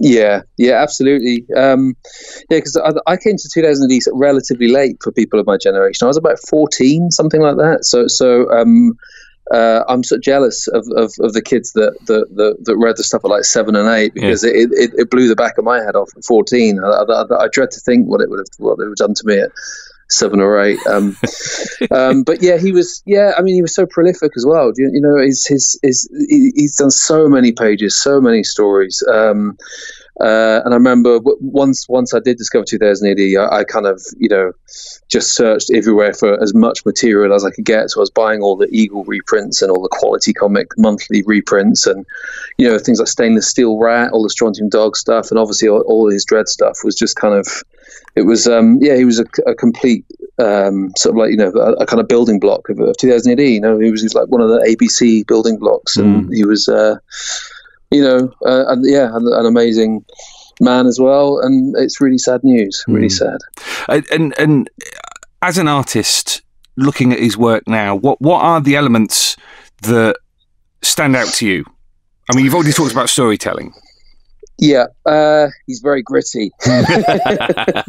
he's, he's, he's very gritty. Uh, like uh, there's a dirtiness to, to, to, the way that he drew stuff that um, that uh, you know is is kind of it's it's uh, what's the right has the right way to put it? It's like it, it, it seems like it, it, it, looks like it'd be easy to do, but it's not because mm. there's a there's a you know there's his world un, un, underneath it all. It's, it's, not about the scrappy marks. It's kind of how he's kind of uh, suggesting uh, the world that he's drawing. And um, for me, yeah, that kind of gritty dirtiness, that, that, like like a kind of worn, weathered look to everything is, is I think is essential to, to the reality of some of the stuff in 2000 AD. And um, and those weird blobs that you put around figures like, uh, uh, as well. I still don't quite know what they were about, but um, I, I, guess there's something to do with popping the figure forward in a graphic way. But they were, I remember seeing them first and just thinking, what, you know, but they just kind of worked. Mm. Um, so yeah, for me, he he just sort of forged ahead with his own style, and and, and that's maybe actually yeah maybe that that's the thing that I take most from uh, f- from from his work that he was able to kind of do his thing and for it to be very successful and great to read and look terrific. Um, yeah, and you you've got a, a rather lovely page on your wall from uh, from Carlos, haven't you? Yeah, I have. Yeah, uh, yeah. So um, yeah, it's, it's, a it's a double page spread from uh, Apocalypse War, and it's got a nice message from Carlos to me, which is uh, which is fantastic. But um, yeah, years ago when I was uh, uh, working for 2000 AD, and I was delivering some pages to Andy Diggle in, in, in the London office, and um, I was uh, waiting for Andy to finish work to go for a pint, probably. Um, that sounds very um, unlike you. and uh, yeah, so I had like a sort of 45 minutes or an hour to kill in the office, and I was just sort of looking around, and, and they always had these kind of piles of just little uh, pages, bits and pieces, sort of hanging around um, in like a store cupboard type area. And um, I was flicking through and I noticed that, that some of Bank Raid was in there, um, um, which is you know the, the, the first supposedly the first ever completed Dredd story. It, it wasn't the first printed, but it was the first uh, completed work. And there's a very famous the, the, page one had a very famous shot of Dredd on his Lawmasters bursting out the page. I think got reused, repurposed when the first Dredd story did mm. appear, I think, in yeah. 2, I think, um, which Mick McMahon drew, but it was Carlos's uh, yeah shot on the bike. Anyway, but yeah, but it was Bank Raid, and I was like, holy shit, this is you know, Andy, do you know what this is? This is like this is a piece of history. Mm. And it clearly been in the offices for the 25 years or, or, or, or, whatever it was at that point. Um, you know, so I said to Andy, do you think Carlos would, would, you know, sell this, swap this, do something with it? And he said, well, let me ask. And he phoned Carlos and Carlos just asked me to send him a cover and then I could take that page home. So, which I did. And I, um, and about a year later, he he uh, I, I, think uh, word got got to him that what it actually was that it was Bank Raid, and he asked if he could get it back, and I said, well, of course. And Rufus Dayglow took it over to him in, in Andorra in Spain, um, and, and, you know, I felt lucky to have had the page for like a year in my studio. This was quite early on for me as well, mm. so I was just starting out, and it felt you know quite an honor to have that page in my studio. But it went back to Carlos, which is kind of like its rightful home anyway. But then uh, Rufus uh, saw him a month or two later, and he had brought a nice big page from Carlos as a gift to say thank you, uh, which now hangs in my studio. Mm. And, and uh, without wishing to, to be too sentimental about it, what, what, what does what does that page mean to you when you when you look at it? What's the the overwhelming feeling? Well, I, I, I remember when I got it. It was in 2005. So um, uh, I hadn't been drawing comics very long, and and even uh, like at, at, that at that point, and Carlos was there by the way. It was, it was at a DreddCon, so it was the first time I'd met him, and to me, it was just incredible that he even knew a who I was, b that he'd want one of my drawings for, for his home, and and c that I had, you know, a piece of work that had meant so much to me, you know, growing up and and shaping kind of what I now do. Hmm. Um, you know, personalised to me, and of course now since the news, it's it's you know it's it's taken on a slightly. I'm just going to treasure it much more now, basically, hmm. um, uh, and it's never coming down off off my wall. do, do, you think somebody who works in American comics? Uh, uh and and wider. Do, do you think um, first off that, that that he's known outside of 2000 AD, uh, and and and if he isn't, is there a reason why why he should be? Um, I think uh, like 'cause he has done a bunch of American Mm. comics, hasn't he? He did a stuff a bunch of stuff with Garth. I seem Yeah. to remember Garth Ennis, um, and he's done bits and pieces for DC. I, I, I think his I think his work is a harder sell in America, perhaps. Um, there's one one of the phrases I hate, which I think is I think actually in this day and age is kind of disappearing now, but certainly in the sort of 80s, 90s, maybe more relevant. Is you know he he was maybe too European for for, for the American market. Um, um, but then, but then, funny enough, just today, Bill Sienkiewicz uh, uh, put a portrait of him, you know, on, on, on Twitter. So he was obviously in, in the comics industry. If everyone knew who he was, um, and and and the mark that he made. But um, yeah, I mean, I, I always got the sense that I guess he was content working for 2000 AD. You know, the, you know that that that was enough. I mean, if you'd created Dredd and Strontium Dog, you know that that may well be enough. Frankly, you know that's uh, that's that's an incredible legacy to leave behind. Um, so uh, yeah, I mean, I've, I never spoke to him about about whether he wanted to do more for the American market or whether he had aspirations in other things. But I always I always got the sense that that, that you know his home he's belonged at 2000 AD somehow. Well, thank you for joining us on what is a really bittersweet episode of the 2000 AD podcast, Earthlets. Thank you to everyone who's taken part. They're just a fraction of the people that Carlos and his work have touched over the years friends, colleagues, and also fans. Thank you for listening. Like I said at the head of the episode, please make sure to send us your tributes on social media and email, and we'll get uh, to as many of them as we, as we possibly can. To round off this episode, we're going to go back to 2015, 4th of March, when we were celebrating Judge Dredd's birthday and we had the master himself, Carlos Ezquerra, on the podcast to talk about the creation of possibly his greatest, most well known character, Judge Dredd. So sit back, enjoy, bask in the legacy of one of the greatest all time artists, Carlos Ezquerra. Hi, hello. It's nice to be back again.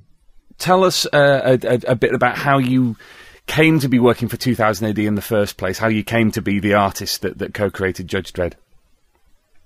Uh, I suppose the fault is from uh, John Wagner and Pat Mills. They saw my work for uh, DC Thomson, and um, the, so they called me for to Fleetway. I started working with um, uh, Battle Magazine Mm-hmm.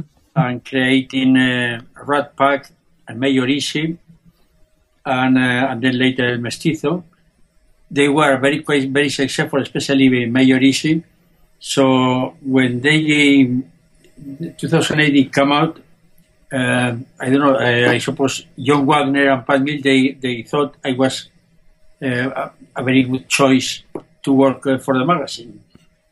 So, um, well, they give me the the first script of Just Dredd, and uh, I made my own interpretation. And especially uh, Pat Mill, he liked so much that he changed all the script to adapt to the character I created.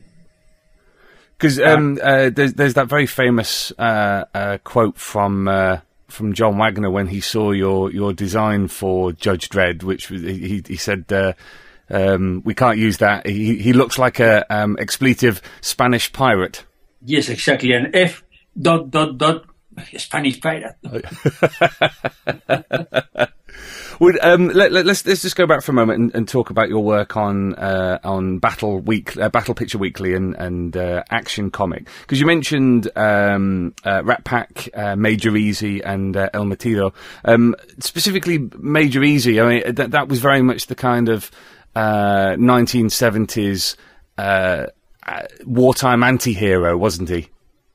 Yes, it was the time when the kind of films like uh, Marsh and um Kelly Harrow and all these um, uh, Clint Eastwood films, they start coming in the, the in the screen. So it was that kind of character that it was um, it was made uh, with Major Eazy. You know, the kind the character that is hero, but is also at the same time is an anti-hero. Yeah. Is anti-establishment. And because you, you um, your experience up until that point was working on uh, romance comics, wasn't it? And, and and just kind of just more sort of contemporary things. No, the romantic comic it was um, romance comic. It was before I come to I come to live to England. then I go to with DC Thomson working in adventures stories. Mm. Like uh, I think one of the most uh, famous bracket it was uh, Chained to His Sword, and uh, well, and another similar to that. You know, it's, um, it was the kind of, of stories I was doing for for DC Thomson. Did um, did uh, battle and action allow you to uh, to to express yourself a bit more, be a bit more experimental in, in, in what you were doing? Yes, uh, because uh, the good thing about battle um, is that I have total total freedom to do whatever I wanted. Well, not only battle, but then later on in 2000 AD, or and so I have total uh, freedom to do with my characters whatever I feel, and that was very important because um, in that way I can well I come from Spain, in Europe in, that, in those moments also was a big uh, uh, of a, like a movement of changing comics, like a little bit like a revolution. It was Guido Crepax, uh, Saga de Sam, and uh, so I when I go to England, I bring with me some of the ideas that they were uh, in vogue in Europe, mm. and I think that was very important for the for the British comics. Uh, in general because it was I bring the mix in between the two the two the two mm, continents. You know, well, the two the yeah continent- yeah the the, the, the, traditions of two quite different uh, comics industries. Yes, and uh, I, I, I, it was only possible to do that in um, in a magazine like Battle, mm, having total freedom to do whatever I wanted. As normally in DC Thomson, you have to follow a very strict lines, and you cannot do. Mm, uh, well, you cannot do whatever you want. You have to follow some lines, Hmm. And even visually, you cannot do too many things.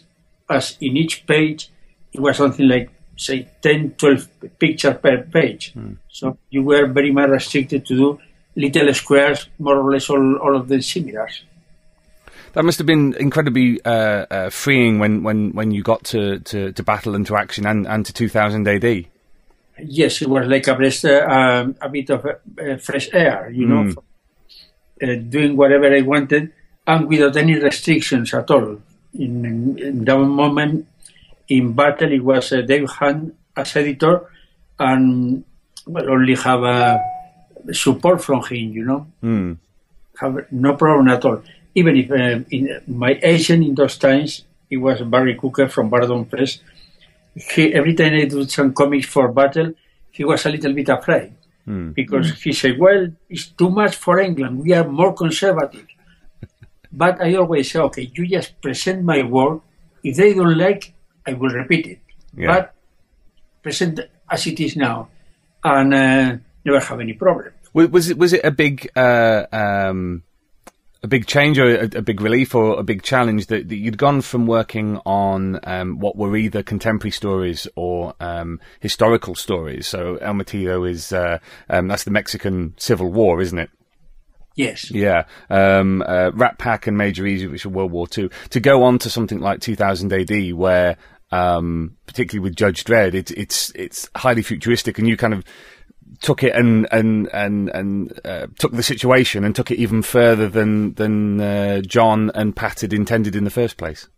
No, I was uh, just letting my imagination fly. Hmm. And uh, more or less also I try to do a, a little bit the same with the war story, but uh, more uh, being uh, with the reality, you know, as, um, following the, the guns, the tanks, all this has to be very realistic. But at the same time, you try to do something to put some imagination. Hmm. So uh, when I started with Just Dredd, uh, no, I don't think it was it was too too much of a change, you know. Hmm. Hmm. The only thing was just to do whatever I wanted, uh, following also the pattern that I learned with battle, and is that every time I do uh, guns, even if they are futuristic or vehicles or things like that, uh, has to be uh, possible to do it, you know. Right, so so they have to look like they work. Yes, exactly. That was very important. Also, mm, even if I, I do aliens, I try to do uh, realistic, between in brackets, you know, realistic aliens. Sure. And and uh, tell us a bit about the uh, the inspiration behind uh, the, the the the uniform for Judge Dredd, which which remains uh, utterly unique, both in its um, uh, uh, extreme nature uh, and, and and that wonderful silhouette. What what were the things that that came together in your mind to create that? Well, uh, they give me a, a picture of, uh, I think it was Dave Carradine, Hmm.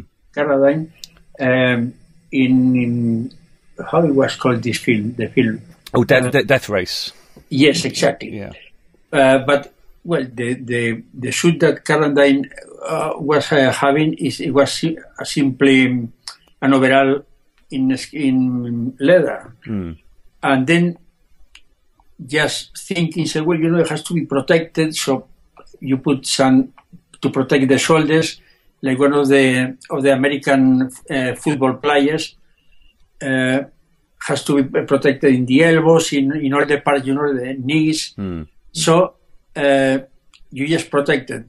Then in a society where it was a lot of well millions of people in the in mega city, and the the agent has to be mm, recognized very easily. Then I changed the, the protection, especially in the in the right shoulder, and put an eagle. You know, like um, an American eagle, Hmm. or also it can be a fascist eagle, Roman or, or German, or the eagle also from Spain. That uh, it was where I come in from, from that moment. You know, Mm. from the General Franco, uh, Spain. So, mm, well, after that, I don't know, it was something logical to, to go one thing after the other. And even the badge, I take it from a Spanish coin that it was the eagle with the with the the with the shield in, in top in front of the eagle, and uh, as I say, you know, it was from one of the, the Spanish twenty five uh, pesetas coins. Because, Uh, because, of course, at the at the time you were you were living in a fascist state. Yes, exactly. It was uh, still it was alive, uh, General Franco. Hmm. So uh, I I put some um, well, uh, how can I say uh, some details that they were fascistic into just Dredd, but at the same time, um, well, it has to be also very stern. So that was the the and as he was uh, just Yuri an executor, I made the helmet like uh, an executor from the from the Middle Ages Hmm. instead of being enclosed, it was uh, solid. You know, it was like a, like a, it was a helmet, Yeah.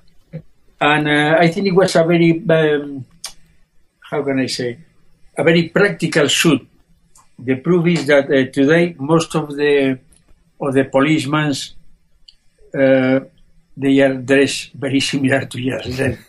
And, and also, I suppose that is the reason he survived for such a long time. With um, Chris Sims, who, who's the, the, the, the chap I was talking to um, earlier in this podcast, uh, he's he's commented on, on Judge Dredd's costume before that the, the normal rule, the one that everyone seems to, to, to follow, is that um, simpler is better. So you look at Batman, you look at Superman, um, uh, Green Lantern. You know they have they have a single symbol and, and it's all primary colours and um, it's all spandex.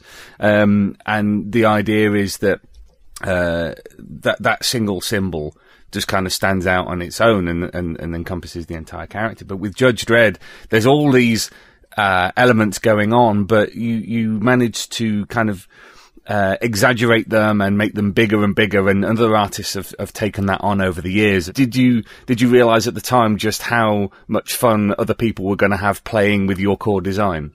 I don't know, some, some artists, they hate me for that. You know? no, but you know, when I did that, uh, you have to remember that Just Dredd is an American policeman. Hmm. And normally the American policemen, they are, especially in the 60s and 70s, they were everything but uh, simple. Hmm. You know, big motorbikes full of uh, lights, um, well, big gun, and a lot of uh, patches in the in the shirt. They were not exactly something very sim- very too simple, you know. Yeah, yeah. And uh, and also that has developed into the anti-riot policeman from today.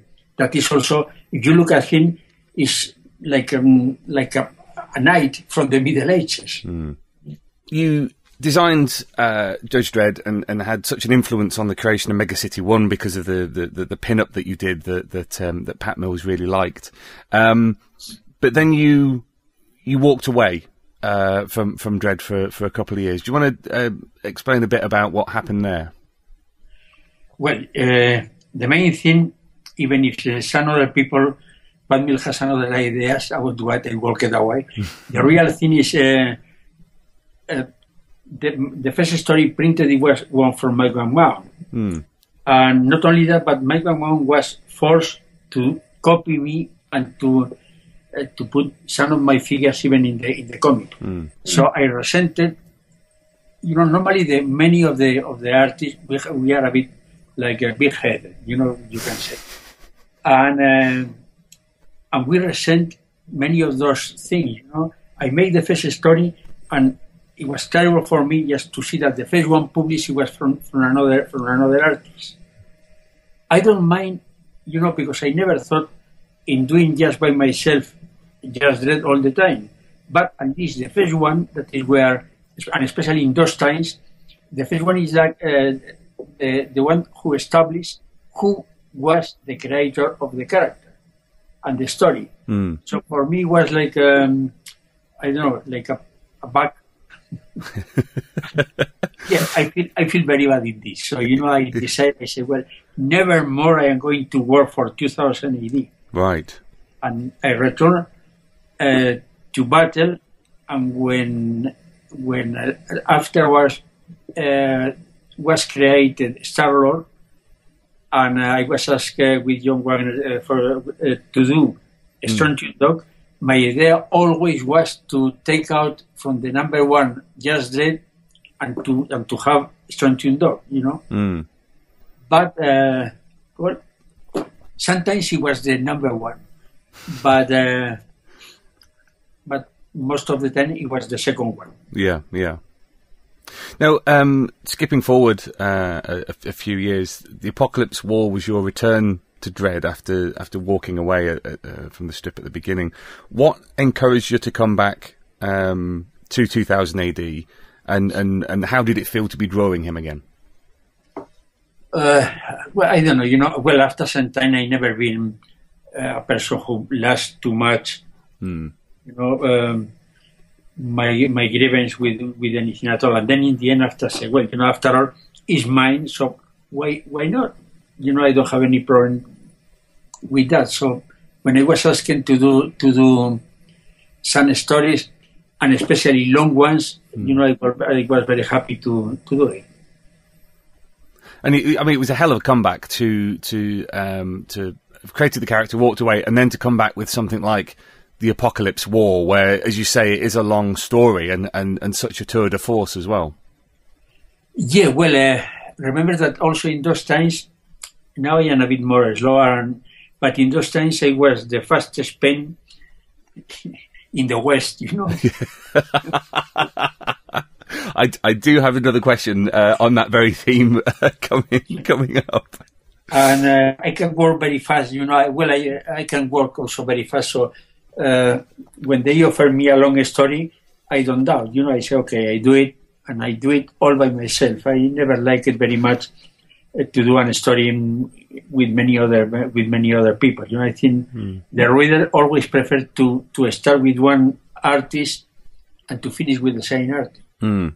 I mean, it's it's it's interesting that, of course, Block War, the the story that immediately precedes uh, the Apocalypse War, is exactly the kind of story that you're that you're sort of um, rebelling against because uh, you had Steve Dillon, you had Brian Bolland, uh, you had Mick McMahon, you had Ron Smith, you know, all, these uh, uh, artists working on a, a single story, and it, it's very choppy in comparison to to then when the Apocalypse War gets going, and there's such a consistency of art all the way through. Yes, as I say, you know, it's not only with the Apocalypse War, but also it was I don't uh, well, um, Origins and also Necropolis. Mm. And uh, I always prefer, if it's a long story, I prefer to do it by myself, even if I has to work my hand, you know, to the bones. And uh, but I think it's, it's better for the for the reader, the fans. They prefer that, you know, start with one artist and finish with the same artist. Mm, mm. Because if not, and especially with characters like Just Dredd, that each art, each uh, artist have their own interpretation, it can be a bit confusing for the for the reader. Hmm. Now, I understand you were living in uh, Croydon at the time that you were doing the uh, the Apocalypse War, and uh, I, I, I, when I've gone back to, to, to my old notes, um, you'd bring in episodes each week into the 2000 AD uh, uh, office. But is it true you were turning around about six pages of black and white artwork a week? Yes. Right. I mean, that's uh, uh, uh, the, there may well be comic book artists who uh, who are listening to this who kind of have a funny turn when when they hear that kind of rate of work. I mean, it, uh, you you described yourself as the the fastest pen in the West. Uh, was it was it a case of just spending all day every day drawing, or, or were you just really quick and get it get it done and out the door? No, it's because I I, I, I am I am very quick. You know, Mm. I, well. I, especially West. Now I take everything more more easy, but um, for me it's very easy to imagine things. So once I got it in my in my in my head, I just has my my hands has to follow whatever my, is in my head. So I don't have too much uh, too much of a problem. Well, also you mm, my my style of work is not as finished as, for example, Brian Bolland or, or Dave Gibbons is more more finished, more so they, they spend more time on it. I am more interested in the in the characters to be alive and uh, and the people see exactly what is happening there, but especially the characters to be alive. Hmm. And you know, to be alive, you don't need to finish too much the characters. Uh, it's difficult to very difficult to explain. Right. Okay. Um, now, Alan Grant has said that he doesn't uh, remember him and Wagner especially enjoying writing Apocalypse War at the time, which which is odd because it just seems so uh, gleefully sadistic to the people of Mega City One. Um, though he appreciates it more upon coming back to it. Uh, did you enjoy drawing it? Uh, I don't remember. It's quite a long time. no, but uh, no, I, I always enjoy whatever I am doing. I enjoy it. If I start doing something that I don't, or even well before it, when I, I am giving a script and I see and I don't like it, I don't take it Hmm. because normally then it can take me ages to do it, and uh, and then if I, I don't enjoy it, I don't see the point to do it. Yeah. Well, if your if your heart isn't in it, there's no point in doing it. Exactly, unless it was pay, you know, very high quantity of money, not the case. Well, just looking at the uh, um, at the big sort of centre spreads uh, and the big uh, page Im- uh, single page images of the Apocalypse War, it, it, it seems as if you were having a good time, just because um, everything is so is so detailed, is so um, uh, full of. Uh, emotion and and uh, you know if, if if you look at the way even um, even something such as the uh, the laser screen taking down the Russian missiles as they they're heading towards Mega City One. I mean, the, the amount of detail on that page is just is just incredible. How how much of this was guided by uh, John and Alan, and how much was you um, adding stuff in? I think I think uh, most of it it was from from John and Alan, you know, because uh, they were very dynamic scripts, Hmm. And uh, uh, I just read it, and for me it was like seeing a film. So I, I don't have too much problem in, in putting that in on paper. Hmm. So I think you know the most of the of the of the mm, uh, of the story was due to the to the good scripts. But not only that, but always that happened with to me always. You know, with the with the script from John Wagner uh, and Alan Grant. But uh, because the proof is after forty something years, I am very happy working with John. Hmm. I, th- I think John uh, has gone on the record several times as saying that that i i your relationship over the past thirty odd years, well, um, forty years, um, has uh, uh, has got to the point where now he he can trust you to do exactly what he knows that you will do, and you've you've developed a, a, a quite a deep understanding about what the other is is, is capable of. Yeah, well, the main thing is uh, we are very well comp- compenetrated, you know. Yeah. So I, when I do something, I know that uh, it's more or less whatever he is thinking out, and when he writes something, is uh, he writing something that uh, he know I'm going to develop. Well, I, I don't know. You know, we are very, very well compenetrated. it's a bit normal after, as I say, after 40 years working together, uh, you develop something like um, I don't say telepathy, but something similar. Hmm. Hmm. Like a, a, a, a bond between yes, you. Yes, even yeah. sometimes you know I, I really feel very angry with him when he starts just saying, "Well, fifty people in one picture are fighting." I say, "Bloody," but that is normal. well, I think a lot of artists uh, struggle with that one where uh, where a, a writer just has to write a line saying, you know, two two armies fight uh, in in the middle of a, a forest, and you know, what, God's Yeah, sake, and- you know. I, I always ask him, why don't you do a single guy in the middle of the desert? Nothing else, you know? but um, anyway, you know, that is, uh, I- as, as you say, it's a normal complaint there from the artist. Mm. Uh, uh, uh, sorry, go on. Yeah, no, that, uh, you know, uh, working with him has been, uh, I, in all my life, I've been working with three or four uh, writers that um, are very, very well compenetrated, you know? Hmm. John, Alan, Garth Ennis, uh, Pat Mills, mm, and you, uh, I work. You know, it's very easy for me to work with them. Hmm. Okay. Have you have you gone back and reread uh, the Apocalypse War recently? No. Right. Okay. Okay. Um, uh, is is is that uh, a decision to, to not go back and reread your old stuff, or or you're always looking forward, or Yeah, well, because normally I never read my own stuff afterward. You know, it's uh, no, I never, I never read it. I, for me, always the best story is the one I am going to do. Now, uh, the Apocalypse War, and this is something that I talked to, to Chris earlier about. It's the first time that um, Mega City One faces some uh, real major destruction. Um, you know, the people had chucked nukes at it before, and and there, there'd been uh, sectors destroyed, but this this was Alan and, and John cutting the, the, the, the city in half, and it, it was the first time that, that you were involved in destroying big parts of the city because you've got the Apocalypse War, you've got Necropolis, and then you had the Inferno uh, Yeah. storyline later. Um, is is is it fun to do to do to blow up your own creation? Uh, I never thought about that. you know, I just uh, do it, and yes, it's fun. I suppose it's fun, you know, but I never thought about that. I really enjoy doing it, and um, that's it. You know, it's. Uh, I don't know. You know, I I never thought about that. Mm. Well, I, I, I think uh, um, someone uh, in the office uh, worked out how many uh, fictional lives uh, John Alan and yourself are responsible for, for, for killing, and I think it makes the the three of you some of the biggest mass murderers in uh, in fictional history. It's it's uh, quite remarkable.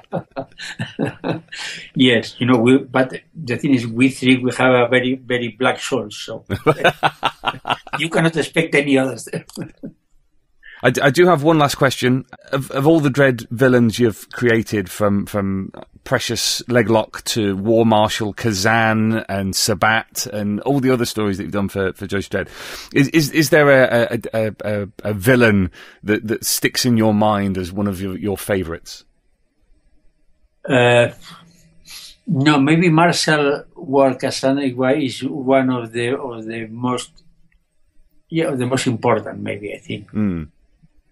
That, uh, and I really enjoyed doing doing him. It was uh, it was I think it was one of the the, the more yeah sticking to my mind. Yeah. Right, right. Well, what what were the, what were the elements of, of, of that character that, that that sort of you enjoyed?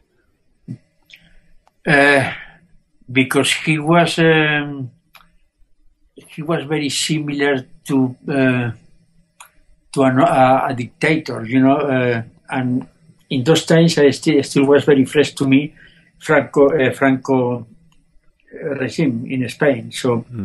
Um, if you notice, it's a little mustache, very similar to the one uh, Franco and all these uh, fascist guys were having.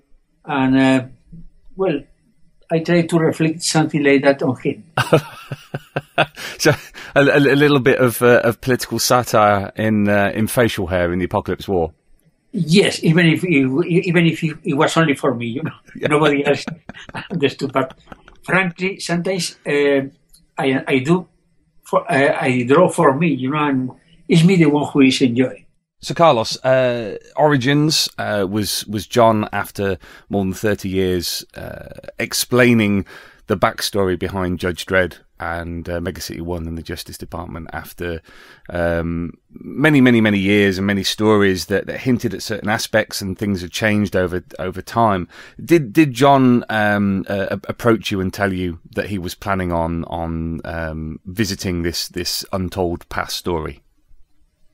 Yes, we were talking a little bit before beforehand, and uh, yes, he was telling me, you know, about, um, about the origins of uh, Just Dredd, not only Just Dredd, but the, the Just system. Hmm. And, and, and what what were your feelings about that? Oh, I don't have any problem. You know, it's uh,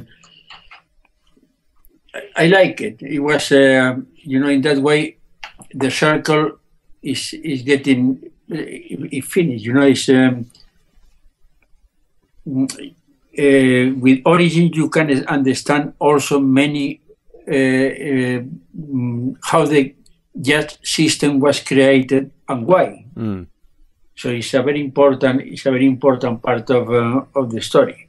But normally, Just Dredd always was based in uh, practically in the actual day, you know, day to day about what, what that is happening. So, uh, but nobody knew exactly how the judges come out and why. And I think that is a very good way to explain everything. Was it was it daunting having to to create uh, the judge's early look because uh, obviously Dredd's uniform and Dredd's world have evolved over time.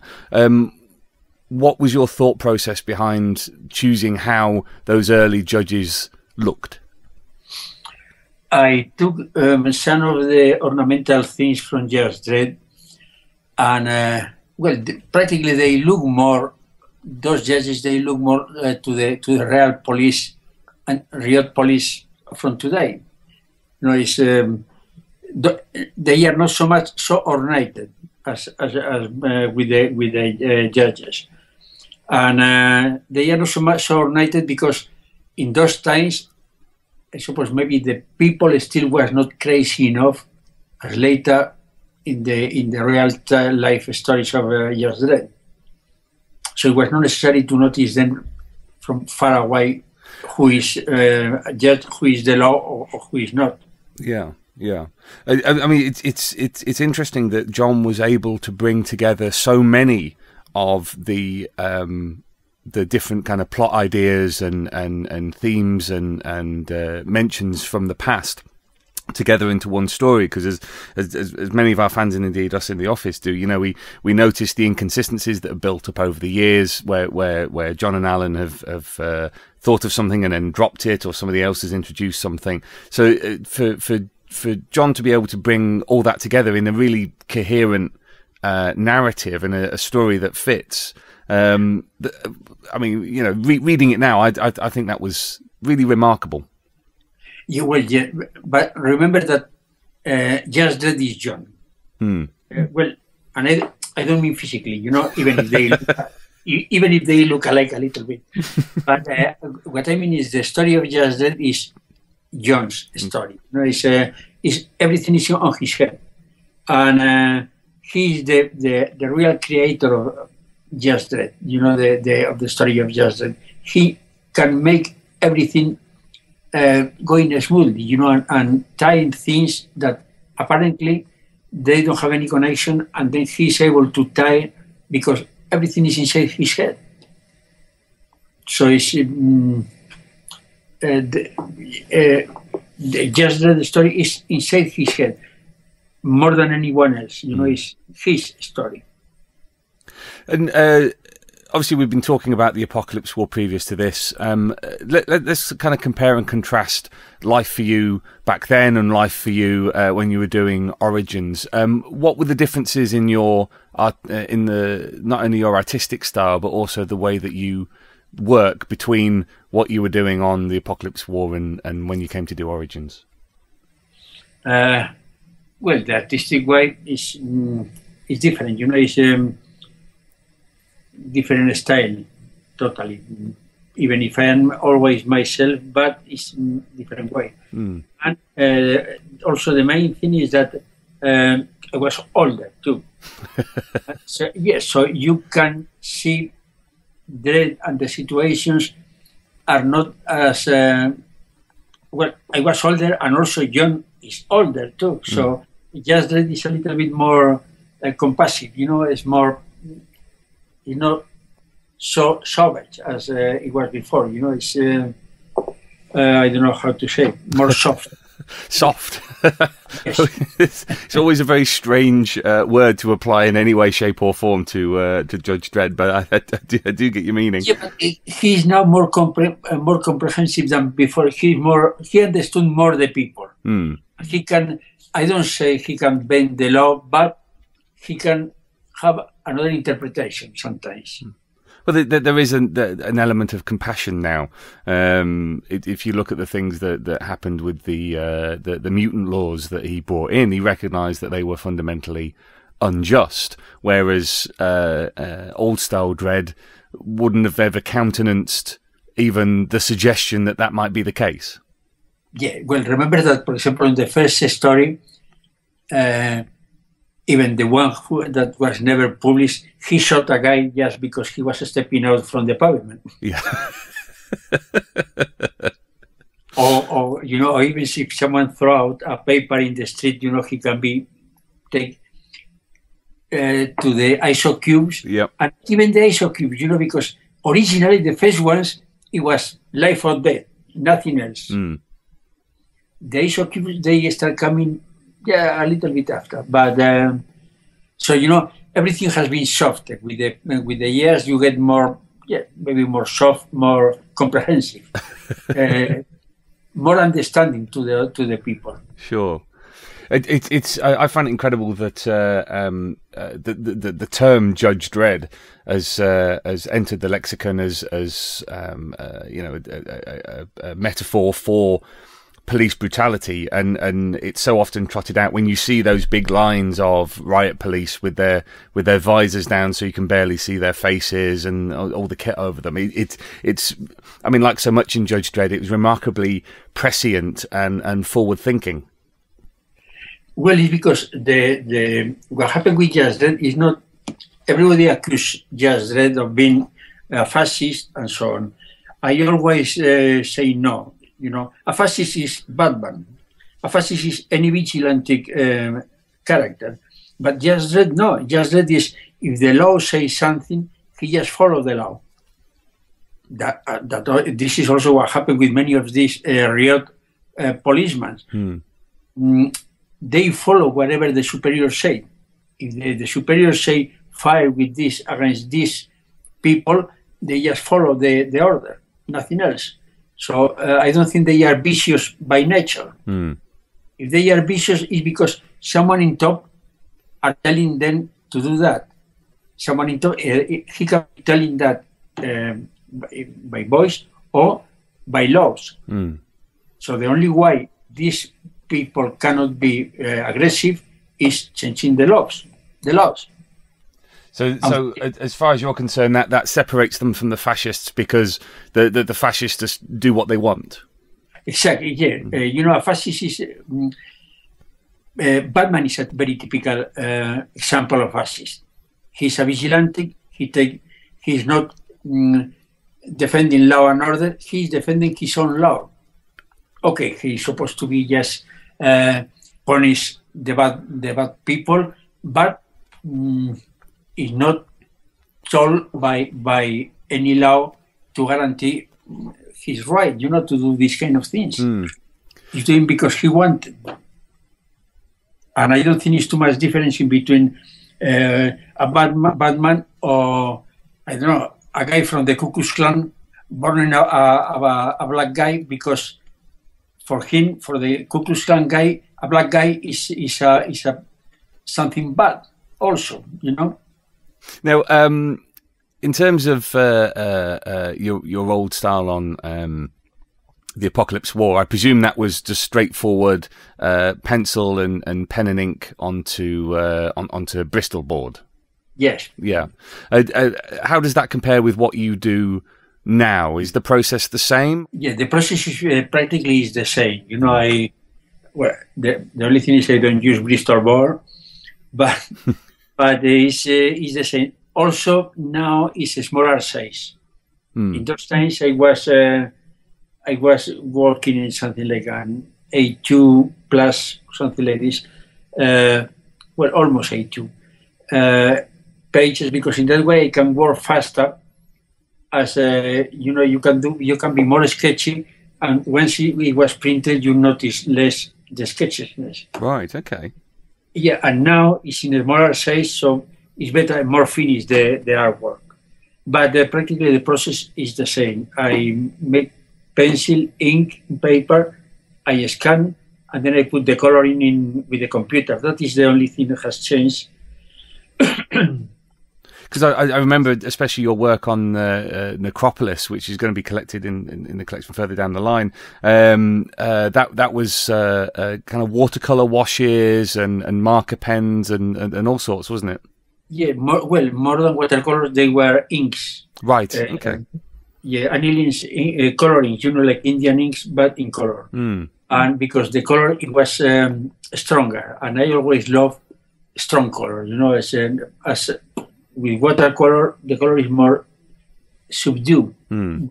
soft, and um, but uh, then when I started, I started with the computer. Um, for me, was in the year '96, I think. I think it was. I was also the first, maybe the first uh, British artist to work for comics to color the comics with a computer, Right.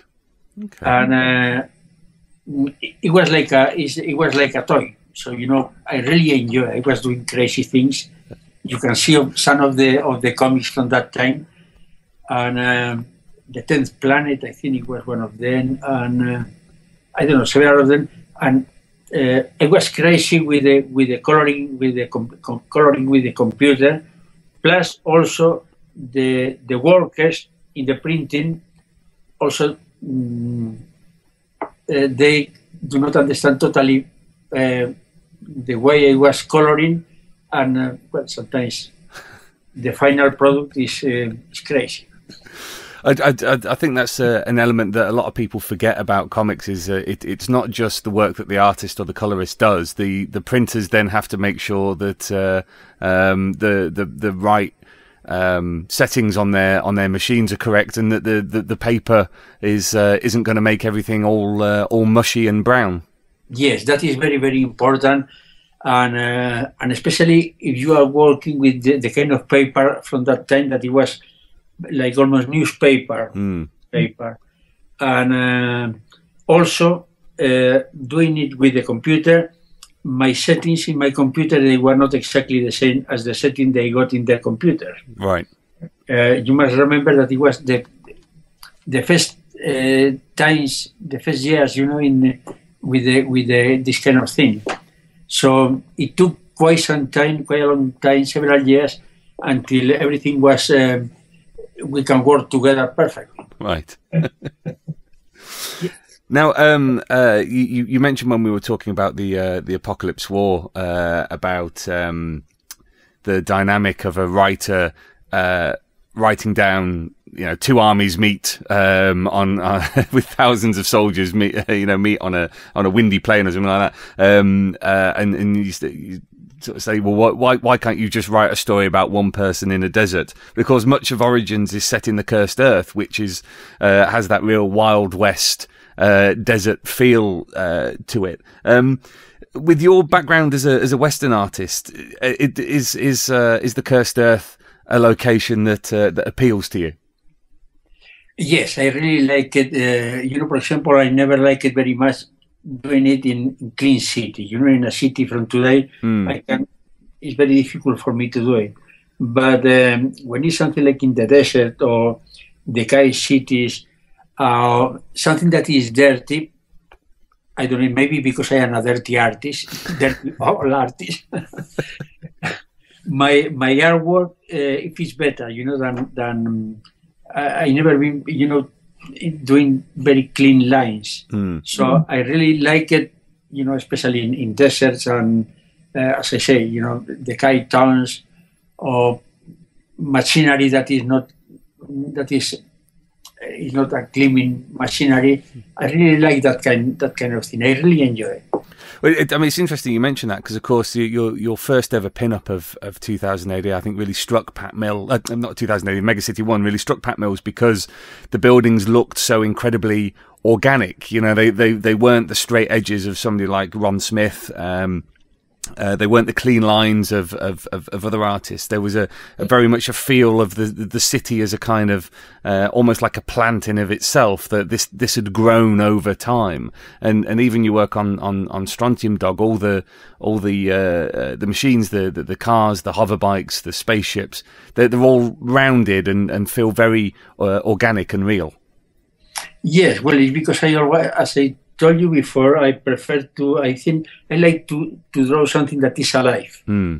You know, that is very very important for to me.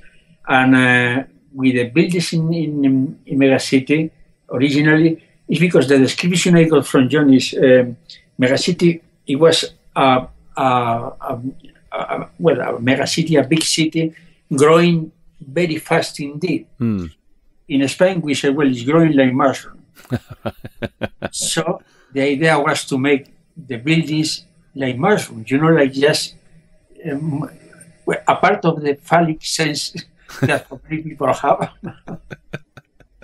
is uh, is like mushroom, you know, it's a round top, like going upwards, Yeah.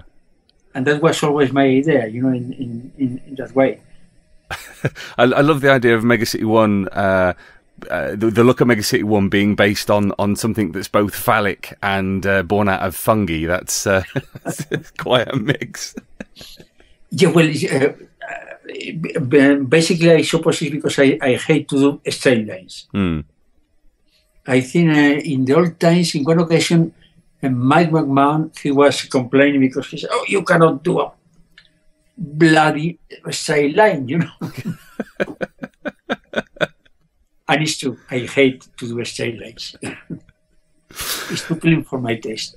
Well, um, with uh, with Origins, John uh, kind of sparked the, the, the next phase of, of Dredd's development as a character because um, uh, it, it, it uh, led into the Tour of Duty storylines, which were also going to be part of the Mega Collection, uh, and uh, uh, all the way through to, to Dredd being exiled to the Cursed Earth. Um, how do you feel as as the co-creator seeing even after all this time the character continuing to grow and continuing to change Uh, I see it doing very well indeed. You know, it's uh, for me my characters, the characters I created, they are a little bit like um, you can say they are like my sons. Hmm. You can say that. So each one has different uh, character, different personalities. So you cannot control the way it's going one or the other one. It's something that uh, mm, you cannot control it Hmm. even if sometimes you try to do one thing, is uh, the character has to follow their own their own their own way.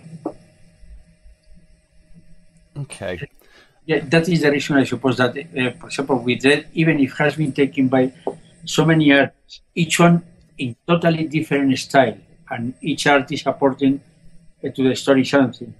Uh, it always been thin. You know, it's uh, uh, you cannot change him. Mm. His, his, his character. So, so that character is the one who, that John created. and it, it's it's remarkable that that um, when so many other comic book characters around the world have been have been rebooted and changed and and uh, other people taken over, Dredd is still Dredd. He's still the same man who pushed the button in the Apocalypse War, who's now riding out into the cursed earth to uh, uh, to find the, the body of Chief Judge Fargo? Well, uh, that is mm, that is because of you You know, it's, it's Mm. so well done that um, he can keep it. Uh, he's him all the time. You know, he's not that um, a character that's changed uh, depending of the artist who take it. No, it's you know, it's him. Hmm. I think that is due to to John scripts. Now, you, you, you've mentioned uh, uh, earlier in our conversation about uh, um, a lot of people calling Judge Dredd a, a, a fascist, and, and that, that's usually the um, the term that people use.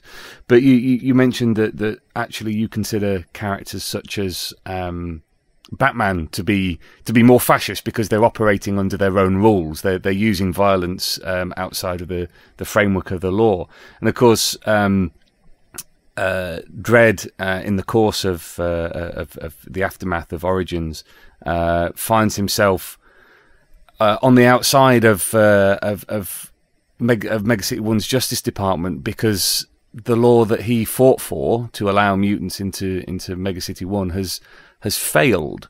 Um, I mean, that's that's a remarkable thing to do to to to to have a character fight for justice and for it to blow up in his face.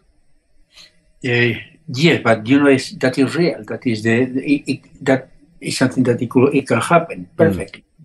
So you know, it's not, it's, in, it's not a fiction a fiction uh, thing that superimposed on the character. It's something that uh, has been developing over the years into that way.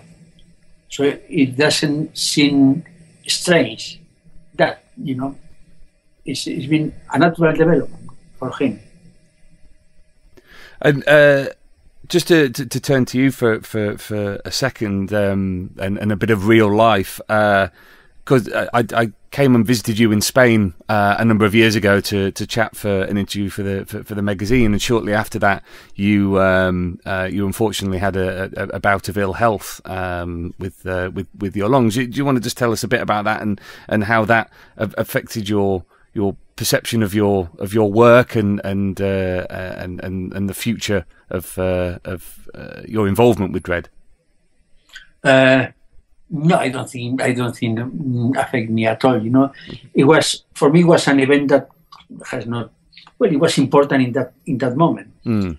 But now it's something like four years since uh, uh, well, I was diagnosed diagnosticated with uh, lung cancer, and uh, in the stage three, which it was very very dangerous. But was lucky enough to find to be, to find that right in time. Mm. So took away one lung, and uh, I still can survive. So you know, I don't even think about that. I feel perfect. The only thing is every six months I have to go to do my my test to see that everything is okay. Mm. But um, it, it will not affect me at all. You know, it's uh, I got the only thing maybe affect me is that I'm more grateful than ever to all the to the fans. Mm. You know, the response from the the from the fans in the moment it was made public, it was fantastic. You know, it's um, and ever ever since then, I appreciate more the, all the fans than than ever before. You know, that was a turning point for me uh, with the fans. Mm. Whatever I can do for a fan, I never turn turn him down. Or I, you know, even now every time I go to England to any convention, I do whatever I can for the for, for the British fans. You know, I feel uh, it was very very touching. You know that mm, I feel uh, fantastic. You know, it was a fantastic rush. Mm. Good, good, and um, of course you're uh, you're one of the special guests at the San Diego Comic Con this year. Yes, I was in, I've been invited, and uh, well, I'll be there. I never been in San Diego before. I always considered it was a bit too far away, and uh, but uh, well, I'll be this year, and I'll be in the. I suppose I'll be in the in the stand of uh, 2000 AD signing. So, um, just talking about origins again, um, you you mentioned that uh, that you felt that the circle had, had been completed because you you'd, you'd created the character and you'd come back and you you'd told his his origin story. Is there a, a, story that uh, you would you would like to tell about Dredd and his world? Uh, mm, no, not particularly. I think you know whatever the story is is on, I I like it. You know, it's uh, so no, I don't have any any particular any any particular um, one. I you know whatever John write, I be I be very happy. As I say, you know, uh, we got uh, very well together, so I'd be happy with whatever he write. Excellent, and and and, and long may it continue. So it's been another absolutely packed uh, Thrillcast for you uh, this week. And uh, I just want to say a huge, huge thank you to Carlos Ezquerra for joining us uh, for the last two episodes. Carlos, thank you so much indeed for, for, for sparing us the time to uh, to chat ev- uh, to everybody. Okay, thank you very much, Mike. And I hope to see you in 2008.